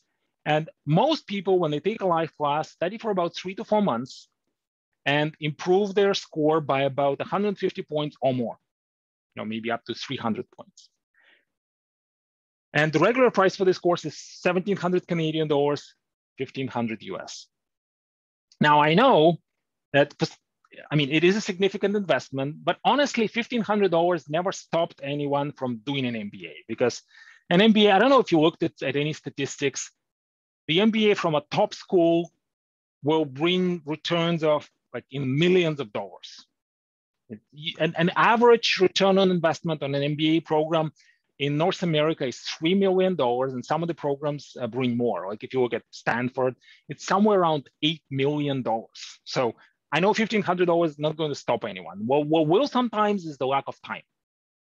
And that's why I want to, you to be very efficient with your time and really work, work at everything as in, in perspective. And also, uh, just again, what we see a lot from our students is that if you get a good score, you will probably get a fairly significant entrance scholarship. And that's also important. Now, we want you to get an immediate return on investment. And of course, there's lots of other benefits, such as if you get a good score, you can apply to uh, work at some of the competitive firms like McKinsey, if that's what you want, or maybe Goldman Sachs, investment banks. They typically will ask you for a higher GMAT score. Well, some of you might say, okay, I, I want a map and I want to be able to call or email the instructor anytime I need help, anytime I get stuck. I want that support, but I don't need the instructor to be there with me all the time. I just need a map. So what this means is that this is the program in the middle. This is where we give you recorded classes. You have support with the instructor by phone or email. You still get the three private classes. And it normally for most people takes about five to six months. But again, that's a typical study time right? That's somebody who studies like 10, 15 hours a week. If you have 40 hours a week, you can probably do this a lot faster. You're saving a little bit of money, honestly, not so much. So if you prefer to be in a live class, I would very much encourage you to be in a live class. This is a much more popular class. But if you can't come to a live class, like we have some students who work shifts And so they, you know, they work three days and they sleep for three days. Then you cannot come to a live class. Then the on-demand option might work better. The GMAT Express option is where we give you the map and you're on your own. You learn the same things, by the way. The strategies are exactly the same, but we break things down into modules and then you work all by yourself. But you have the exercises, you have lots of practice questions. And then typically what we find is most people spend about six to 12 months studying again. That varies. But with that program, the minimum we've seen is about three months, just because there's still things to figure out. And most people improve by fewer points because you don't have that personal touch. And it is a lot more affordable. If you go on our website, I'll show you a link. You actually see uh, that if you get it for a year, it works out to be um, like a, even, I'll, I'll, give you a, a discount code. It, it's actually works working out to be about $50 a month. And if it's for a year, for a month, it works out to be just over $100. So these are the three options. Again, you can decide what works better for you. But what I, I speak with a lot of people, and sometimes when I, when I do a consultation or where I speak with somebody, and I say, okay, well, these are the options, or this is how you can study. And by the way, we'd love for you to come and join here us here at AdmitMaster, but other companies offer these options as well. Just ours are affordable, and we really care about your success. Uh, we are a medium-sized company uh, from North America, so we would love for you to work with us. And uh, th sort of strategies we teach are really cool. And many of these strategies aren't really taught anywhere else. But when I ask people, well, okay, what do you think about, uh, about these ways of studies? What I usually hear from many people is, ah, don't worry, I can do the trial and error because I got lots of what? What do you think? What do most people say? I can do a lot of trial and error because I got lots of what? Yes, exactly. I got lots of time until I got no time left. That's what I hear a lot. Honestly, when I do the consultations, I hear one of two things. Either I have lots and lots of time, or oh my God, my exam, my exam's in two months, or in a month, or in a week. What do I do? Right. And the thing with time, which is interesting, and we've come back to this over and over again, that time's really valuable. We don't really have more time than everybody else. And in fact, we'll never hear from a CEO that I got you know, more time or less time because time is a great equal, equalizer. We're trying to get into a business school, so we understand that, right? Many people don't, but we do because that's that's our frame of mind. Is that you can always have more money, but you can never have more time. And in fact, if you have the time, you can earn the money. But if you have the money, you can't necessarily earn more time.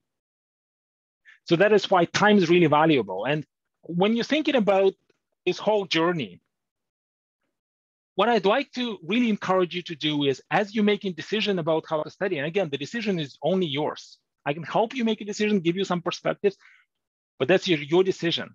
Try to put value on your time. What would it take if you were to study 100 hours versus 400 hours? Or what it would it take if you do the MBA in January or March next year versus in March 2023 or 2024? What would that mean to your career? And most importantly, even if we have lots of time, well, we can use this time somewhere else. Maybe we can connect with some friends, or maybe if, if we love learning, maybe we could learn something else. Maybe we can upgrade our skills because we all have just 24 hours in a day. But CEOs, they get paid so much more because they know how to use their time efficiently. It's not because they have more time. Make sense? All right, I wanted to show you one final question and then I will do an interview with JD. So here's a question. Another algebra question. Give you 20 seconds to read it.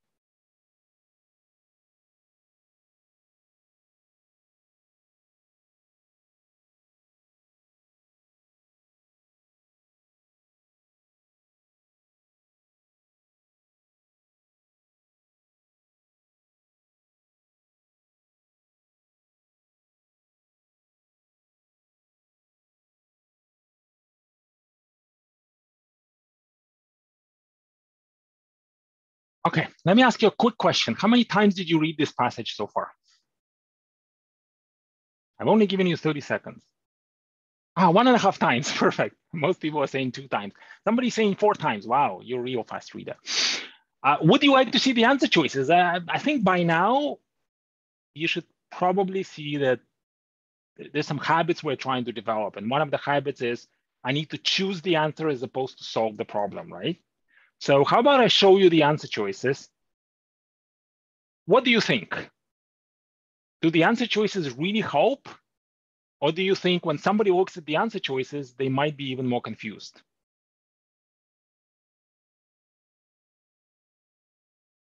Yeah, most of you are saying more confused.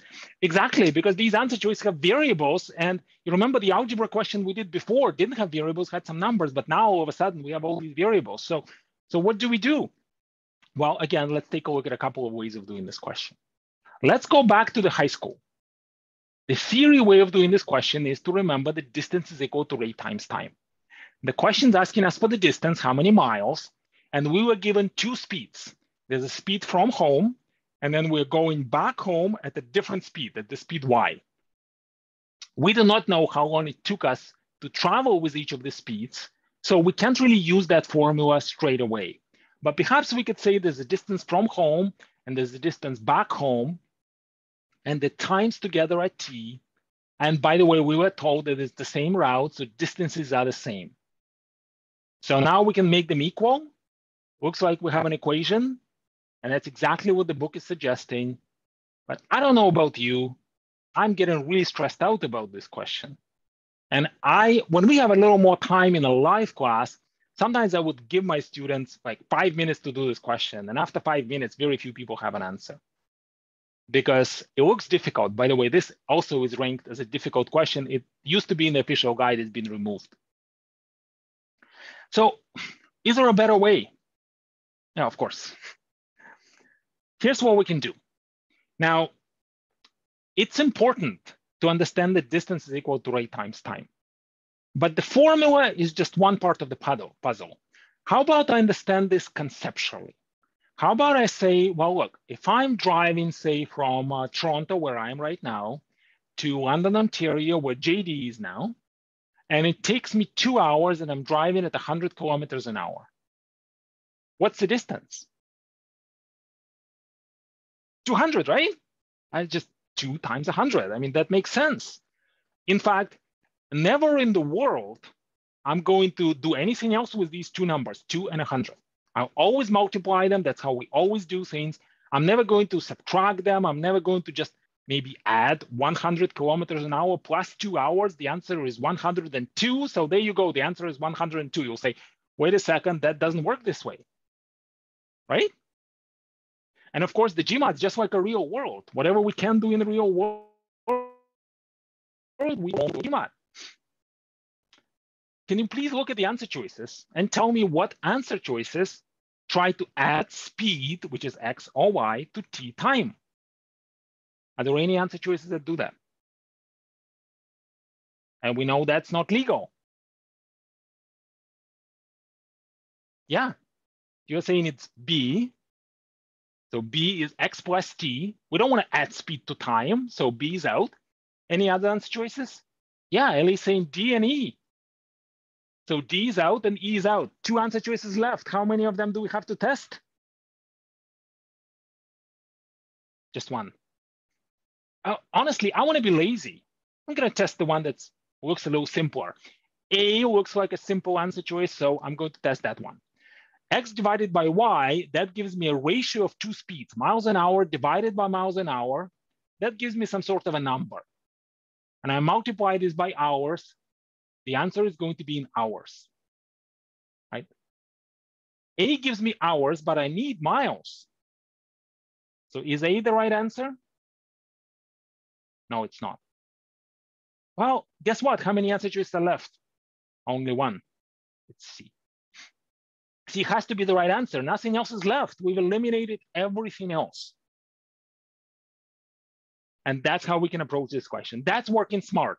That's saving time.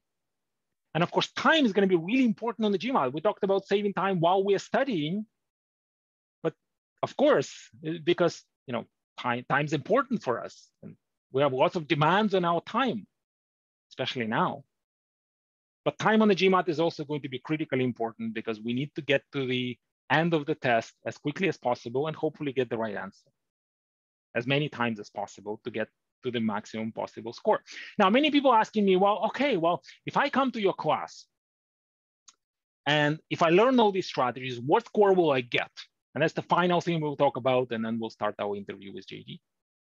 And the answer is, now you may have heard you'll get an 800, right? Probably expecting I'm gonna say this. And, and, and, and I'm not gonna say this. I'm going to give you a standard MBA answer. And I have my own MBA as well. It depends. Your score will depend on what score do you really need and how committed you are to getting this score. Because we can give you the best training in the world. And if you have a good coach and you're working efficiently, if you need a good score, you will get this. But honestly, many people who come to our course, they don't need an 800. Sometimes they just need, all they need is 650. Like honestly, sometimes all they need is 600. I can't make you work hard if you just need a 600. Or I cannot make you work harder or smarter if all you need is just 600. But if you need a 700 or if you need a 750, then you might need to do a little bit something a little bit differently. Sometimes we get people who come to our course and get scores in the 200s and they need scores in the 700s. Is it possible? Yes, absolutely. That's why the average that we get in our course is not really painting the whole picture, but it is still a quite a telling average that the average, if you're just an average in our course, then you'll already be in the top 20% of everybody in the world. And remember, this is amongst people who actually do the test and only 10% of people do the test. And about a third of our students will get 700 scores of 700 or more. So the first question I get asked is what score will I get? But the second question, how long will it take me? And the answer is again, it depends. We can talk, talk, talk about statistically, and I've shared this with you, but if you're like Brian, who comes in with a score in the 500s and all you do is study for the GMAT, you don't have a you don't have a job, you don't have any family obligations, and you can dedicate six to eight weeks Brian literally improved his score by 200 points in six weeks. He said, I have two months, but I want to be on the safe side. I'll take my real test in six weeks. And that's what he did. He got a score of 760.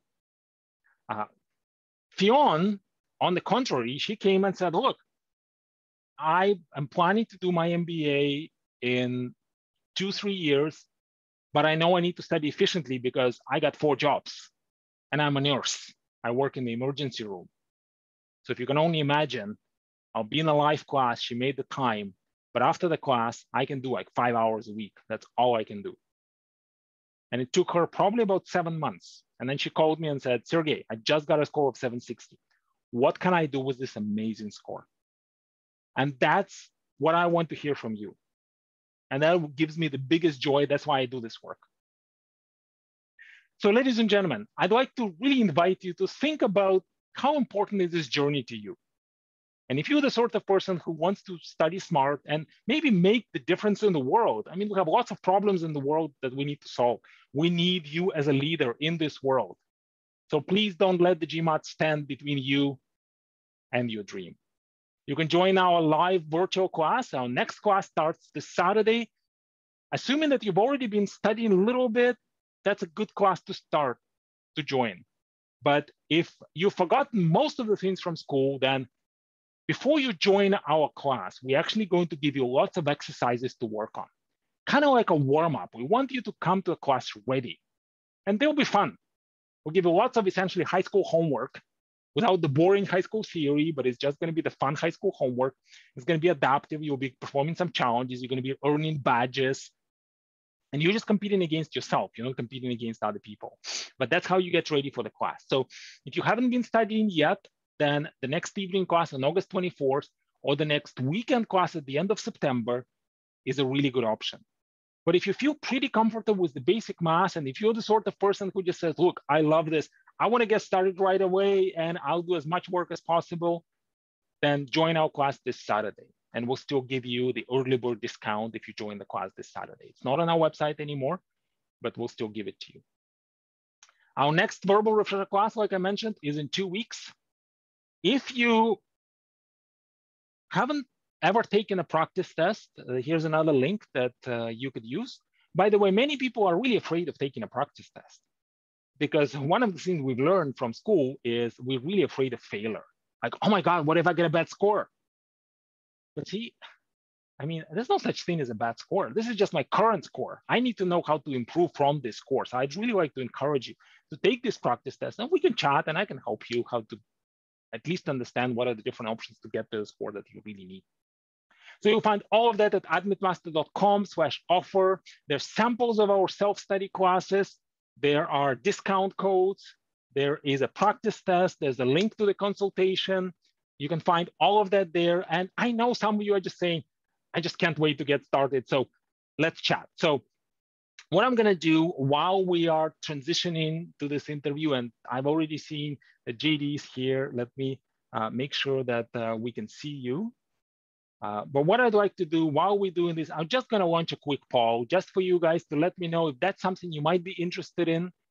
And uh, if it is, then what I'm gonna do from my side, I will send you a personal email. I'll share with you all these resources and then we can chat and then uh, you get to make a decision of whatever is right for you. All right. Thanks so much for joining us, JD. Uh, it's uh, always- Thanks, Sergey. Nice to be here.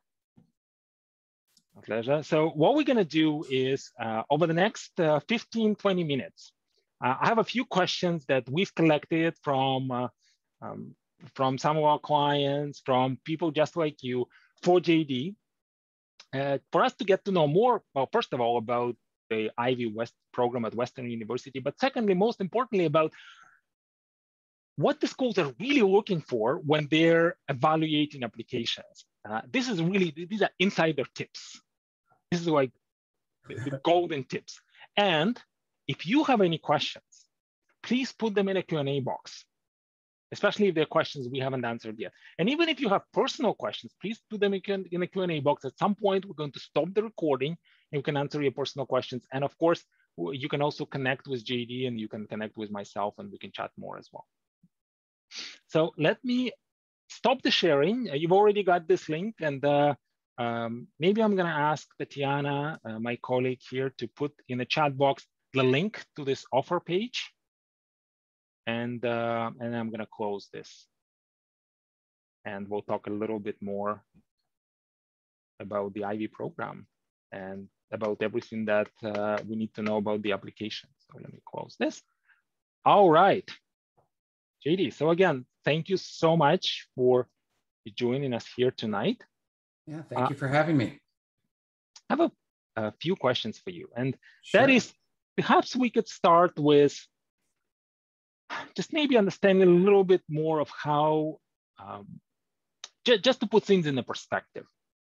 And that is when somebody is, uh, is trying to choose which program to go to. One of the things we usually suggest is trying to understand a little bit more about the class profile. Yeah. Who actually studies at these programs, right? Like, what's a typical Ivey MBA student. Can you talk a little bit more about maybe your latest incoming class in terms of where they come from, what their backgrounds are, so that perhaps people here can relate? Yeah, so I'll give a you know a broad sense, but then I'm going to answer it in the way that there's not a typical candidate. So, uh, in a broad sense, average age is about 28 in our full time MBA program. Uh, we have two sections. So, we uh, intake about 156 students a year. So, relatively a small program.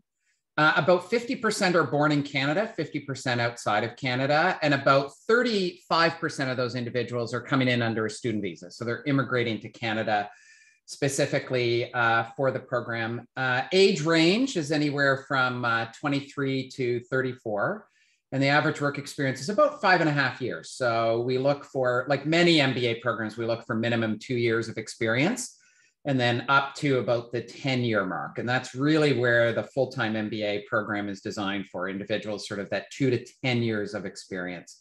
Uh, very international in nature. Uh, there's around 25 different citizenships in our, our program, uh, around 30 different languages that are spoken. And, and I think the main thing is, and this comes back to the point, Sergey, is I, I really encourage people as they look for an MBA program, and you know this in our conversations is, you know, I, I have an arts degree. I always thought that maybe I wasn't a typical MBA candidate. And so I delayed doing my MBA to the older end of uh, that age range. And really, there's not a typical candidate. And you're going to find that in any school that you look at is that really what we're looking for is tomorrow's leaders and they come from all different backgrounds in education all different backgrounds in industries so the last stat i'll give is there's about 45 different industries in our class so that just really speaks to the point where people are coming from all different areas i mean we've had people come in from you know served in the armed forces we had a wine sommelier in our program somebody that worked at a uh, you know, resort in charge of the recreation, uh, people that are professional uh, artists, uh, people that are professional sports athletes as well. So again, there's a wide spectrum, but I really encourage people is never ever self-select yourself out of doing an MBA. And, and that's one of the problems is people look at, you know, profiles and everything else is sometimes you can look at them and say, well, you know, there's not many people like me. Don't fall into that trap uh, the diversity is really important in an MBA classroom, really important to the recruiters that recruit students coming out of these programs. And so, uh, you know, don't self-select yourself out. Thank you. And that that's exactly the comment that we hear a lot uh, from our clients is saying, well, you know, am I a typical MBA candidate? And just like you said, there is no such thing as a typical MBA candidate right? If yeah. you're a future leader, then absolutely. Uh, if, if you have big dreams, big goals, then absolutely get in touch with the school and start this discussion. And that actually brings us to that um, also point about diversity is uh, located in, uh, in beautiful London, Ontario. We are in Canada. And many of the people, for example, here on this call are considering coming to Canada and yeah. coming from another country. So how would a school support them? It, it's a big, big yeah, yeah. challenge. I would say big task, yes. right? A big step. So so what what could they what could they rely on? How is the experience like, and what the school does to support them?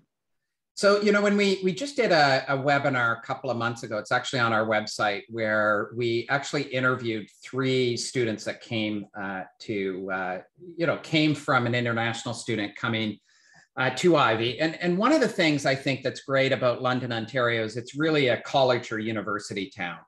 So, you know, and, and really what happens is everyone that comes here, whether you're a domestic student or international student, you come here to study. And so the cohort becomes very close. There's a community around it. They all live very close to each other.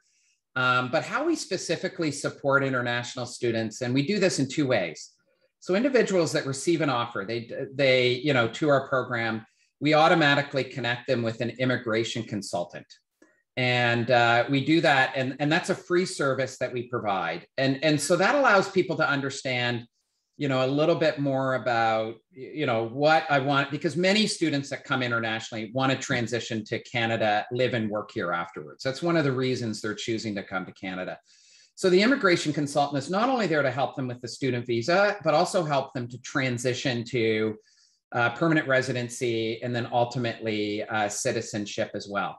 So that's the first area that we do. The other way that we support international students, so once they're confirmed coming into a program, we have somebody uh, that we have contracted with, like our immigration consultant. They're not employees of Ivey. They're actually, you, you know, individuals that we contract with we provide all of our international students support to get settled in London. That helps them in, in a couple of ways, and I'll, I'll describe it. One is to find accommodation. So, one of the things with international students, you may not be familiar with rent prices, for instance. What is available? What are your needs? And so, this is somebody that will actually help you find accommodation and really act on the individual's behalf to make sure that they're you know, finding something that meets their needs. This individual will also meet them, also provide some support getting set up with bank accounts, cell phones, uh, you, you, know, getting started with groceries and stuff. Uh, they actually meet them when they come into London, take them to their apartment. If individuals are coming in with children or spouses, is also making sure that they can get settled, uh, provide city tours and stuff. And you know, I, I, worked overseas myself, and one of the things that is difficult is sometimes you don't know where to go for things. I remember uh, I had a young child at the time, and, and we needed to figure out where to go for formula, for instance. So, uh, you know, being able to go to where do you go get groceries, uh, you know, little things like that. How do you set up internet in, in your apartment? And so we have somebody to help support them. Uh, her name is Jody Simpson, and uh, she works for a company called City Match. And so she helps support the students. We've been working with her for about five or six years now. So Wow. Um, uh, and if somebody has any questions about uh, coming in as an international student, could they reach out to your team and, and oh, for sure, definitely, yeah, yeah. And and I would also think you know one of the things you want to do is is also uh, as you look at different MBA programs is really get to talk to the students as well, right? So I can talk about how we support the students, but the best ones to talk to are the students that actually were supported and you know how important that support was for them. And speaking actually about choosing the school, there's um, as as of course uh, you always tell all of the prospective students, and we do the same, is that choosing the school is really a two-way street. Is yeah. first usually you choose the school and then you need to make sure that the school chooses you as well. So maybe let's talk about the choice of a school because it is a really important yeah, decision. Uh, so so let's talk from a couple of perspectives. Uh, one is why would what would be some of the main reasons? Maybe you could give us like maybe three reasons why would somebody consider going to Ivey yeah i, I think the main so we have a one year program so individuals, uh, you know, that allows individuals not to be out of the workforce that long. So I would say that is sort of, uh, you know, a practical reason where somebody might look at it. Um, I think the other reason that people choose is the way that we do education with the case study approach. So very similar to Harvard. and There's only four true case schools. There's Harvard, Darden, IMD in Lausanne, Switzerland, uh, and, and then ourselves that use that. So that is also a main reason why people choose the school is the education experience we deliver. And one of the things we're proud of is we've been ranked by The Economist uh, for four years in a row, top 10 globally. And this is based out of survey data of alumni on, uh, so we've been ranked in the top 10 globally out of 100 schools on the education experience we deliver. And uh, that's an important element of it. Our, our uh, alumni network, but also our network with recruiters. And, uh, you know, students coming into our program do very well as far as placement rates um, do very well with, uh, you know, not only the placement rates, but also very happy that the program met their goals. So, you know, give another ranking result by The Economist. The reason I like The Economist is it's based on survey data of individuals that went through the program. So, for five years in a row, we've been ranked in the top 20. This past year, number 11. The worst we've ever done is number 16 out of 100 schools on how uh, alumni have rated us by the career services that they received in the program. But you know, the biggest piece of advice I have to individuals, and MBA is an MBA, you're not going to find much difference in the curriculum. I'm going to actually give two pieces of advice in choosing a program. You're going to find much difference in the curriculum because an MBA is an MBA program. But really, you want to get to know the culture of the school.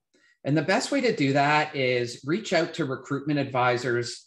You'll get a sense of the culture of the school and dealing with them, talk to alumni, talk to current students, participate in events, and really think about is this a place that I think I can belong outside of the academics? Because that's really important. You know, it's the same thing. You could do a job and, and you could do the same job in one organization to the other, but really when you look at you know looking in work aspect that culture can be very different across different organizations. And you want to make sure that the culture really fits. The second thing is and sergey this goes back to how you started this question is it is a big decision for people. But big decisions are also very overwhelming decisions as well. And sometimes as human nature when we get overwhelmed by decisions we take the easiest route not the best route for us. And so I'd really encourage people to kind of, as you get through this, you're going to get overwhelmed in making this decision. I mean, it is a huge decision. And back to your point, international students, you got to leave your family, you got to move here, move to a brand new country. Um, but also, you know, always kind of keep in your back of your mind and that sort of check with yourself Am I making the right decision? Or am I taking the easy decision? And I think that's uh, really important to kind of keep in mind as you you look at different programs and and make this decision. Thank you, JD. Can we uh, dig just a little bit deeper into choosing the program? Sure. Specifically in terms of Ivey, what would you say, or what would the students say are the best parts of the program? What are the highlights? Uh, yeah, yeah, that's great. Yeah, that's a good.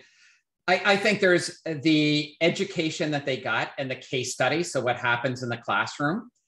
And then the second thing is what happens outside the classroom, the community that the students have and you know how close they become with their classmates and how you know the friendships that they develop and you know again it's you know what happens in and and really you know the impact that it made on them and and you know that leads to an impact not only an impact that they have professionally but an in you know an impact that it has on them uh, personally as well. And and those are always when you know we we survey the students or you know and i keep in touch with a lot and you talk to them and you you uh, you know as we have events we always ask you know what's the reason you chose Ivey? And what was the best part of the program and uh, you know when people talk about the best parts of the program it was like you know what the case study was fantastic i really loved that environment it was a great way for me to learn I found that when I got back into the professional setting, my skill set was just really, really enhanced. And, you know, but it's also about the friendships that people develop and the culture that individuals have outside the program. And, and one of the things that, you know, I always loved seeing is, is you love seeing the activities that people are doing outside of the classroom and how close they are. And again, I think a function of that is that the fact they're moving to a university town and everyone, you know, people aren't from, you know, we have maybe two or three out of that 156 that are from London, but many individuals are coming from all over Canada, all over the world, and they're coming here. They all come here to study. And so their focus is on their classmates for that year that they're here. They're not distracted by other things going on or family commitments or commitments with other friends. They really are in this sort of um, you know aspect of it. You know i was talking to somebody about it and, and sergey you know in, in the conversations we've had i'm a big person in analogies right? And and it's like when somebody wants to learn a language right? So how do you learn a language you can get books you know like rosetta stone to learn a language but the other thing is immerse yourself in experience to learn about the language and you know when you come to london you're immersing yourself in the student experience, not only in the classroom, but also outside of the classroom as well. Uh, exactly. And I remember when uh, we've done a lot of these seminars, one of the things that I remember a lot from uh, what you were saying is that sometimes when we look at uh, what other people are suggesting or when we look at what the rankings are saying, sometimes the rankings based on the things that might not necessarily be the most important for us. So somebody is saying this is the most amazing program. I'd like to really encourage you to dig a little bit deeper into why. And is that the thing that's most important to you? And choose the program based on what's most important to you. Exactly. I think that's great advice. And, and that is, you know, when we talk to people about that decision, we always say, you know, start with this question of what matters most to you. And think about it in a couple of ways. What matters most to you about the education experience you want, the culture that you want to join in the program, and also what career you're looking for afterwards, and making sure that programs fit with what matters most to you. And, and you never go wrong when you start evaluating programs on what matters most to you. Exactly. That's a great advice. Now, speaking about the career. Yeah. Uh, um, I, the Ivey program is one year. Yes. And it's uh, you know, many people mistakenly think that a one-year program is half of the two-year programs. It's actually not. No. Uh, the two the two-year programs yeah. are typically 16 months in class, and the one-year program is 12 months in class. Well, what would you say? How would somebody make this decision? Because that's one of the I'm sure, sure. that's on, on, on a lot of people's minds, and we actually got quite a few people saying, "Well, can you please make sure that we talk about this?" Yeah. So what would you say? How could somebody choose? Yeah. So so I'll talk about maybe I'll go back in history about why we did a one-year program.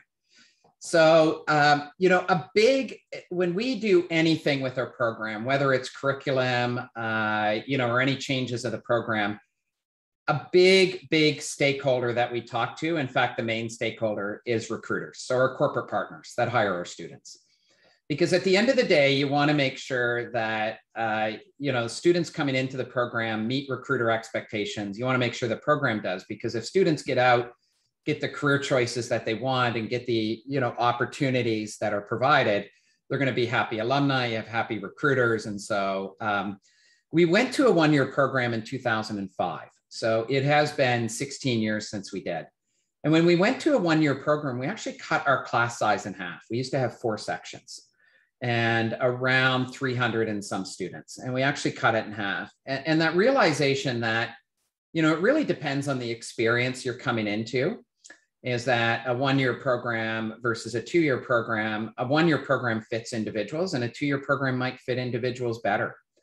So there are some myths about a one year program and and I'll talk about the data. The myths are you can't change career paths.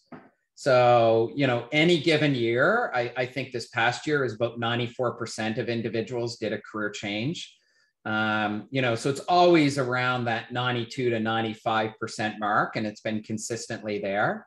So our placement rates are as high or higher than two-year programs. Our career change is as high or higher than two-year programs. But what we do on our side is we want to make sure one year program fits with your career, uh, you know, aspirations.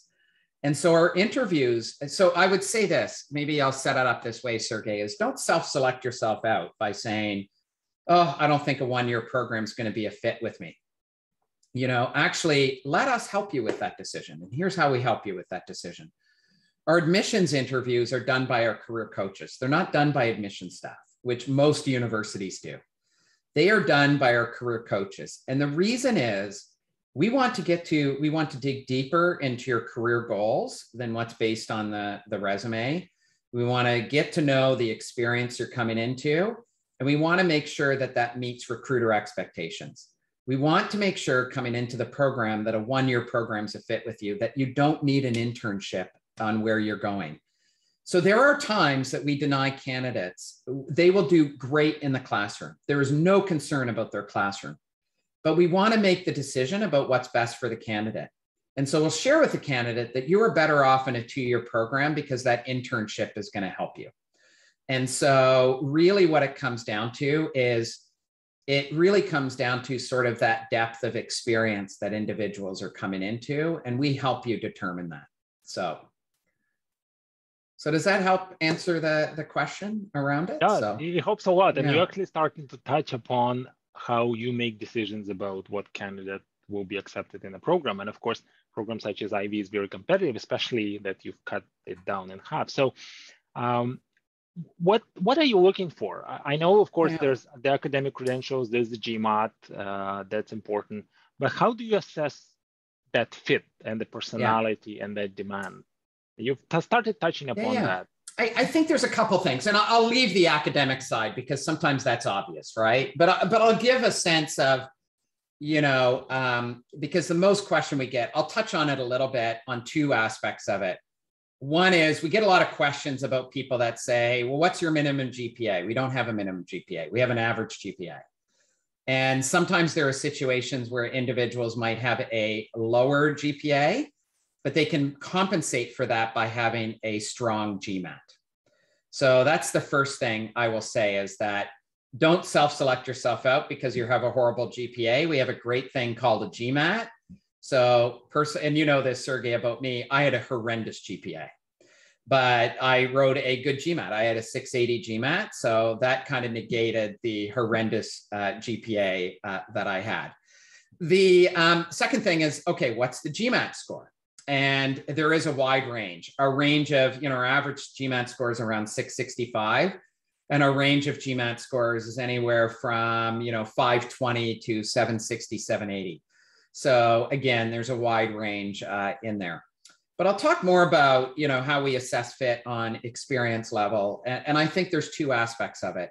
One is you want to make sure in any, any MBA program that you're applying to is to really highlight your experience and your, your impact and accomplishments that we had. So one of the things we talk a lot about is trying to get a sense of you know outside of your job description what are those accomplishments and impact that that you, you know has been important to you? Things like where did you show initiative? Where did you get things done? Where did you lead a project? You know working amongst in teams. And the other thing is we want to get to know the values of the individual. That's really important so are they going to be a good team player in the program? Are they going to support their classmates? Because um, we want to make sure that we have an environment where you know that aligns with our values. And what's important about our values is it's a very supportive environment. And not only supportive in in the staff and the faculty the students but also making sure that the students are supported to one another. And uh, you know i think that's a, a really important aspect. So getting to know the person on who they are what their values are and also getting to know the level of experience particularly around the impact and accomplishments that the individual has and uh, you showcase that not only your resume, uh, your references, you can showcase that, but ultimately the important part to showcase that is in the interview. So. You actually touched upon the resume, which is uh, a very important part of the application, of course. And I remember you talked a lot about our, in, yeah. in our seminars about uh, really having more of an accomplishment-based resume. So when when you see the resume, what's the first thing you're looking for? And uh, and perhaps you can talk about also what are some of the great things to have on the resume, and what are some of the mistakes that you're seeing in the resume, and maybe in overall applications that you're saying, "Wow, that's a yeah. red flag." So, uh, so I'll talk about what we look for. I mean, uh, automatically, you you look at the you know the first thing you look at is that the person has shown some progression in their career and have some level of responsibility. So they've been, you know, and I think what you want to do is you also want to make sure this is good resume tips, even for applying for jobs, right?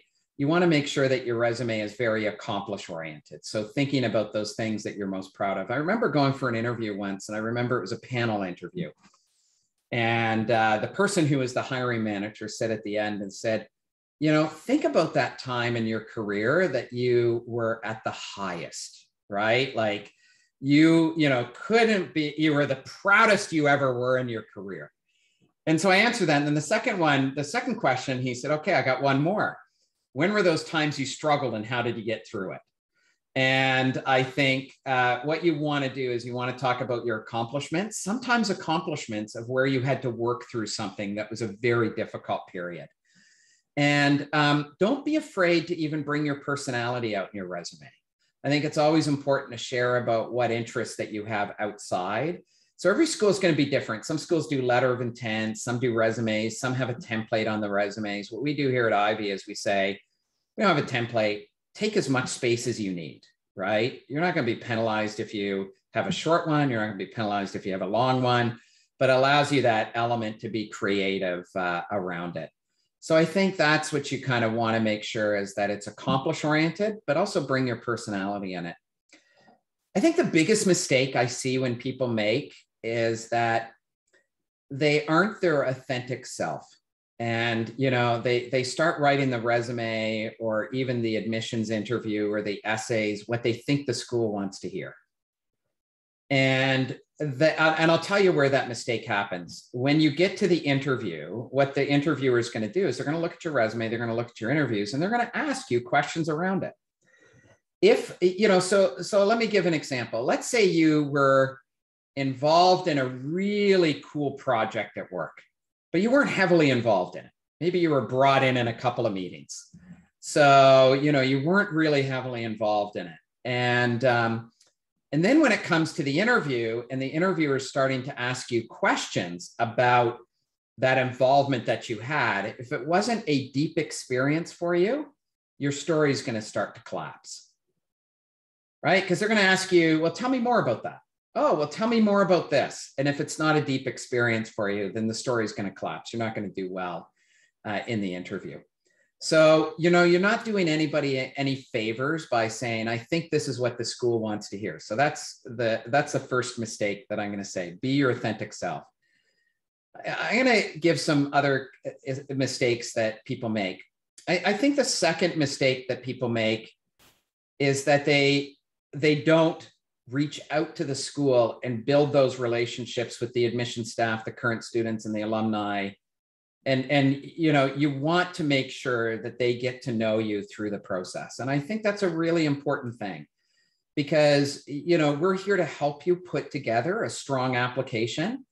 And you know we're we're here to help guide you through the process. And and you know so i'd encourage people to reach out to any school that they are considering and so we'll get applications in and we'll say no one's ever talked to this person before and gotten to know them and uh, what the admissions staff and the recruitment staff are able to do is if they get to know you is they're able to you know um, provide more information about your candidacy as well outside of just on the application form. But more importantly, we're here to help you put together a strong application. Awesome. Uh, thanks so much for, for, sharing these tips. I always love hearing your tips, and I'm sure that everybody who's here for the first time appreciates them as well. Uh, and you, you talked about accomplishments, and you also talked about the school looking for future leaders.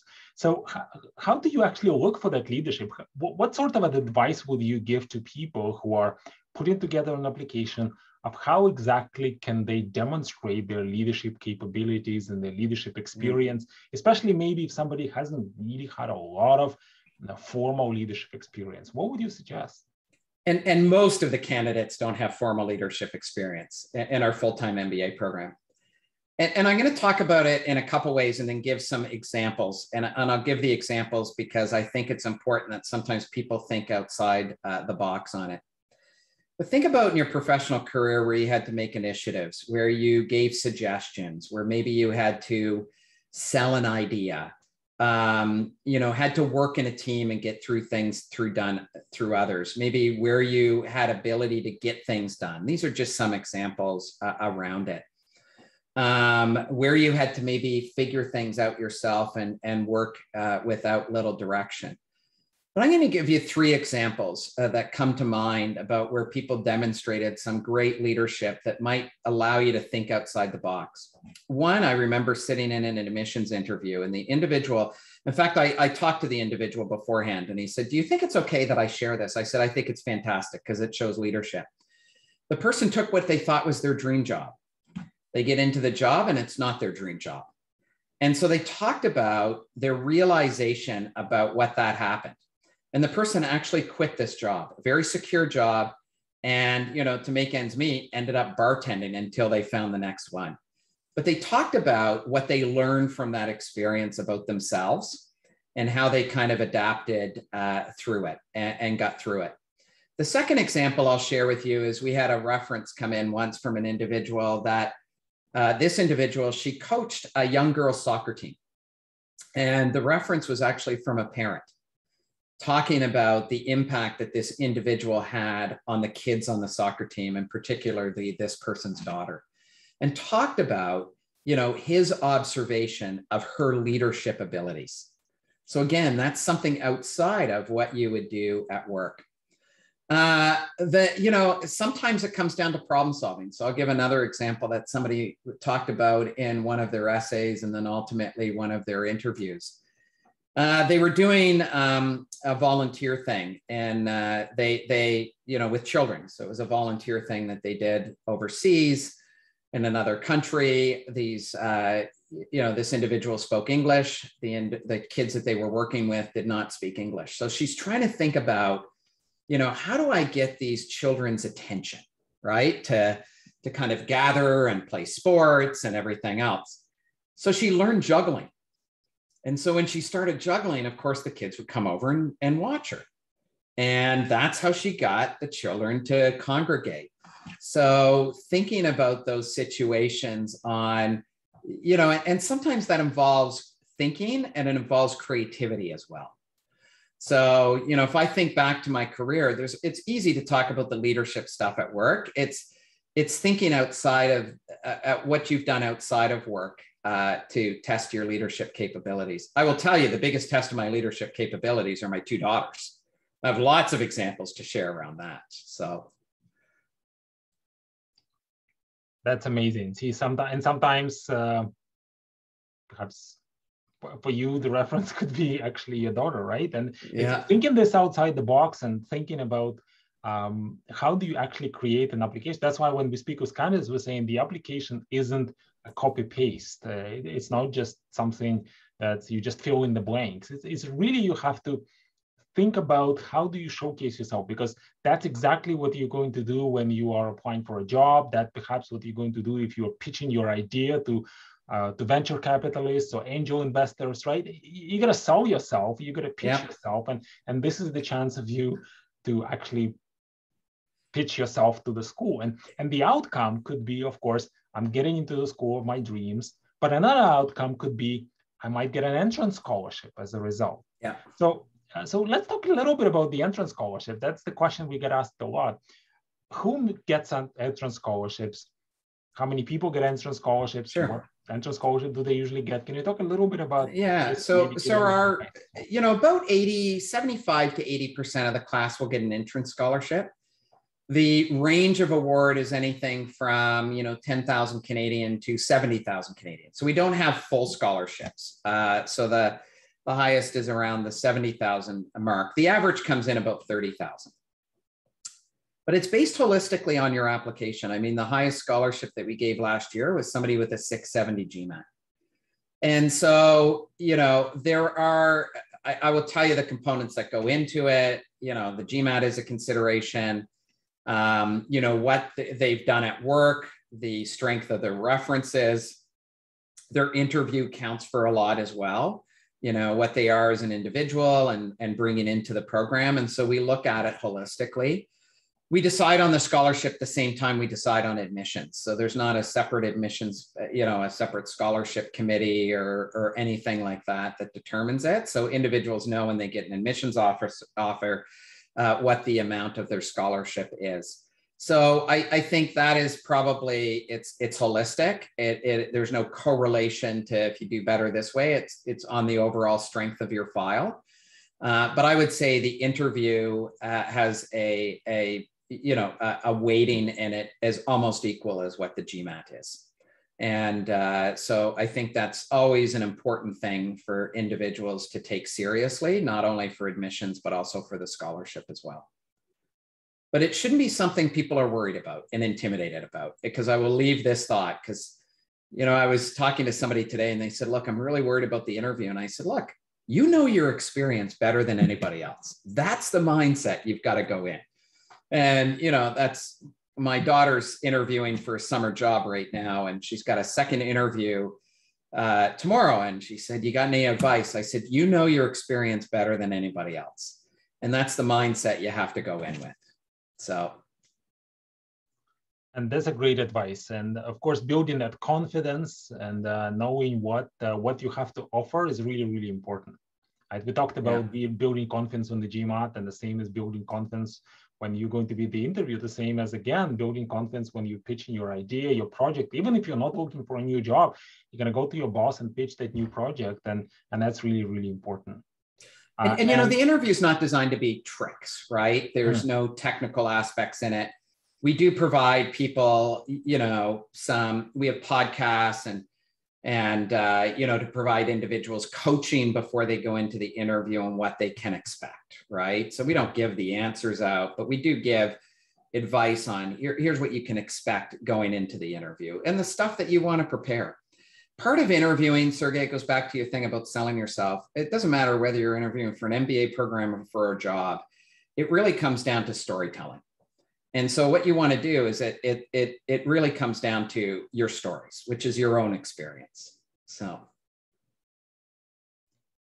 exactly. And uh, and speaking about um, speaking about selling yourself and speaking about taking things seriously, um, we've learned today that uh, about 7 million people a year consider going to a business school, but only about 200,000 yeah. actually do the GMAT. So people who are here on this call, these are the people who take things seriously. So I really want to thank you and great. congratulate you on staying here and, and to listen to all these great advice. And perhaps just gonna ask you for one final advice. And if anybody sure. has any questions, uh, please put them in the Q&A box and I'll share with you contact JD's contact information and uh, JD, perhaps you can put your contact information as well, but we'll yeah, share it with you by email tomorrow as well. But maybe if you were to give the final advice for people who are who are here tonight and they're very serious about applying to an Ivey MBA, what would, what advice would you give them? What kind of final? Um, yeah, that's a good question. Just do it. I I think you know I'm going to go back to that stat of you know what is that you know you'll test my math here. So how many people apply? And then what is it like 2% of people go through it? Is that about right? Uh, like maybe even yeah something like this exactly. Yeah it, i mean you know and I, I think what happens is people get scared of the gmat they get scared of applying. It is a leap of faith right? That um, you are uh, quitting a job you're going back to school without a, a clear outcome an MBA is not about that first job after graduation. The real payoff as an MBA is as you go forward in your career. And you know, it's about making sure doors open, but also making equally as sure that doors don't close. And Sergey, we talk about this all the you know what I love about my job is and and I truly am very, you know, is to get to see the difference that this program makes for individuals both personally and professionally and, you know, we just finished Canada Day was July 1st. So, you know, it's five weeks away. And seeing the international students on, you know, on Facebook and, and Instagram posting photos of them, you know, some of them are getting citizenship. Um, you know, celebrating Canada, celebrating being in a new country, seeing people that, you know, start a family here, buy their first homes. And it is incredibly inspiring. And I always say that you know what i love about my job is i'm in the dream business. And and i can tell you that and i forget that quote that i share it's something about you're only one decision away from a totally different life. Mm-hmm. and i think the decision to do an mba program is really about investing in you not only as a professional but you personally and it is truly a transformational experience. So my advice is anybody that's on this call today is seriously considering doing an mba program just do it and, uh, you know, I'm not here to sell, you know, I'm proud of Ivey, but wherever you go and do an MBA program, you're not going to be wrong in the way that it's going to make a difference. Where you go wrong is maybe choosing a program that's not a good fit for you. But, you know, choosing a program where it's a good fit, where you're going to get a lot of value out of it, you're never ever going to go wrong. So, and I love your advice that you've shared earlier today is um, think about whether you're making the right decision or the easy decision. And sometimes, uh, sometimes this is not an easy decision to make, but make it for the right reasons. Yeah. And um, I can speak from my own experience as well. It is a long-term investment, and you, I'm looking at uh, some of the experiences of the people I did the MBA program with, including myself. Some of the things we were able to do, and many of us have switched our careers several times while we were out of school already. For I've done my MBA 17 years now, uh, 17 years ago. Some of us have had multiple careers already, and we, we've been able to do this because the MBA gave us the right skills. So it is really yeah. a, a long-term investment. It's not just financial. I've shared some of the statistics with everyone as well that the average return investment is $3 million up. And uh, usually more of it is after about years five or 10, because you might have a small jump into that first job. But just like you said, JD, it's not really about that first job, but it's much more about that personal satisfaction. It's about doing something you're really passionate about. It's about making a difference in the world. Many MBAs, I'm uh, as as I'm following some of my colleagues as well. Some of them worked in the corporate world and now they work for not for profit. Uh, one of uh, one of my colleagues, one of my dear friends, he now works for an, an, organization that actually works on reducing plastic waste around the world, and he had a very a successful corporate career before that. So the sky is the limit. And just like you said, when you do an MBA, you make sure that the doors don't close. And I've also heard the phrase that the MBA eliminates the glass ceiling but builds the glass, builds the floor. So at some point, you're just going to say, I'm going to play on a totally different level. I'm going to share a personal story just on this whole aspect of making a decision for the right reasons, not you know sometimes the easiest reasons. So uh, you know, my first job out of university is I worked for Queen's University or Smith School of Business, and uh, um, I worked there for about ten years. And and my wife was from Kingston, and you know where it was, and we had never really had the opportunity to travel. And I got a job offer to go over and work for a school in Slovenia. And I remember uh, a mentor at the time, uh, he said, What have you decided to do? I said, You know what? I don't think I'm going to accept it. And he said, Why? And I said, You know, I just bought a brand new car. The car was probably like five months old. And I said, You know, I got to move overseas and I got to get rid of this car and I'm going to lose money on it. And he said, Well, how much do you think you're going to lose? I said, Probably about $5,000, right? He said, A year from now, you won't even remember that $5,000. And he was wrong about one thing. I didn't remember those $5,000 three months from that time, you know, because what happened was it was like such a great experience. And, you know, I always remember that story of him saying, you know, you'll never ever, you know, you're going to forget about that $5,000 a year from now. I forgot it, you know, two months into the experience because it was a great time. I learned a lot. I loved the role, but more importantly, I learned a lot about myself as a person, had a great experience as well so that shares that you know sometimes we can get caught up in those sometimes those practical things right and again i was overwhelmed by the decision. You know i had to sell a house I had to leave a job uh, you know go overseas for a couple of years in a foreign you know foreign country that i didn't know much about but it was the best thing that i ever did. So second to my mba i would say the mba ranks first. That was a close second though. Oh that's amazing. And, and i also remember a quote that most people, uh, when they when they get to their golden ages, regret things that they have not done, and most yeah. people don't regret things they have done. I agree. That's a great. I I think that's very very true. So, yeah. Well, thanks so much, JD. thanks, Sergey. It was always a pleasure with us. So, thanks for answering these questions. We don't have any questions in the Q and A. Uh, that that means that we've we've covered most of the things that was in everybody's mind. So thanks again for uh, to everyone for joining us. We will be sharing the recording of this interview, and um, and have a have an awesome time. Uh, enjoy your summer, and we look forward to seeing you, most of you in our classes. And um, please connect with JD as well. Start the discussion, and please remember JD and his team are there to help you make the right decisions. Definitely. Well. Yeah. Thanks, Sergey, and thanks everyone uh, for joining it. So it's great. Thank you. Thanks so much, everyone.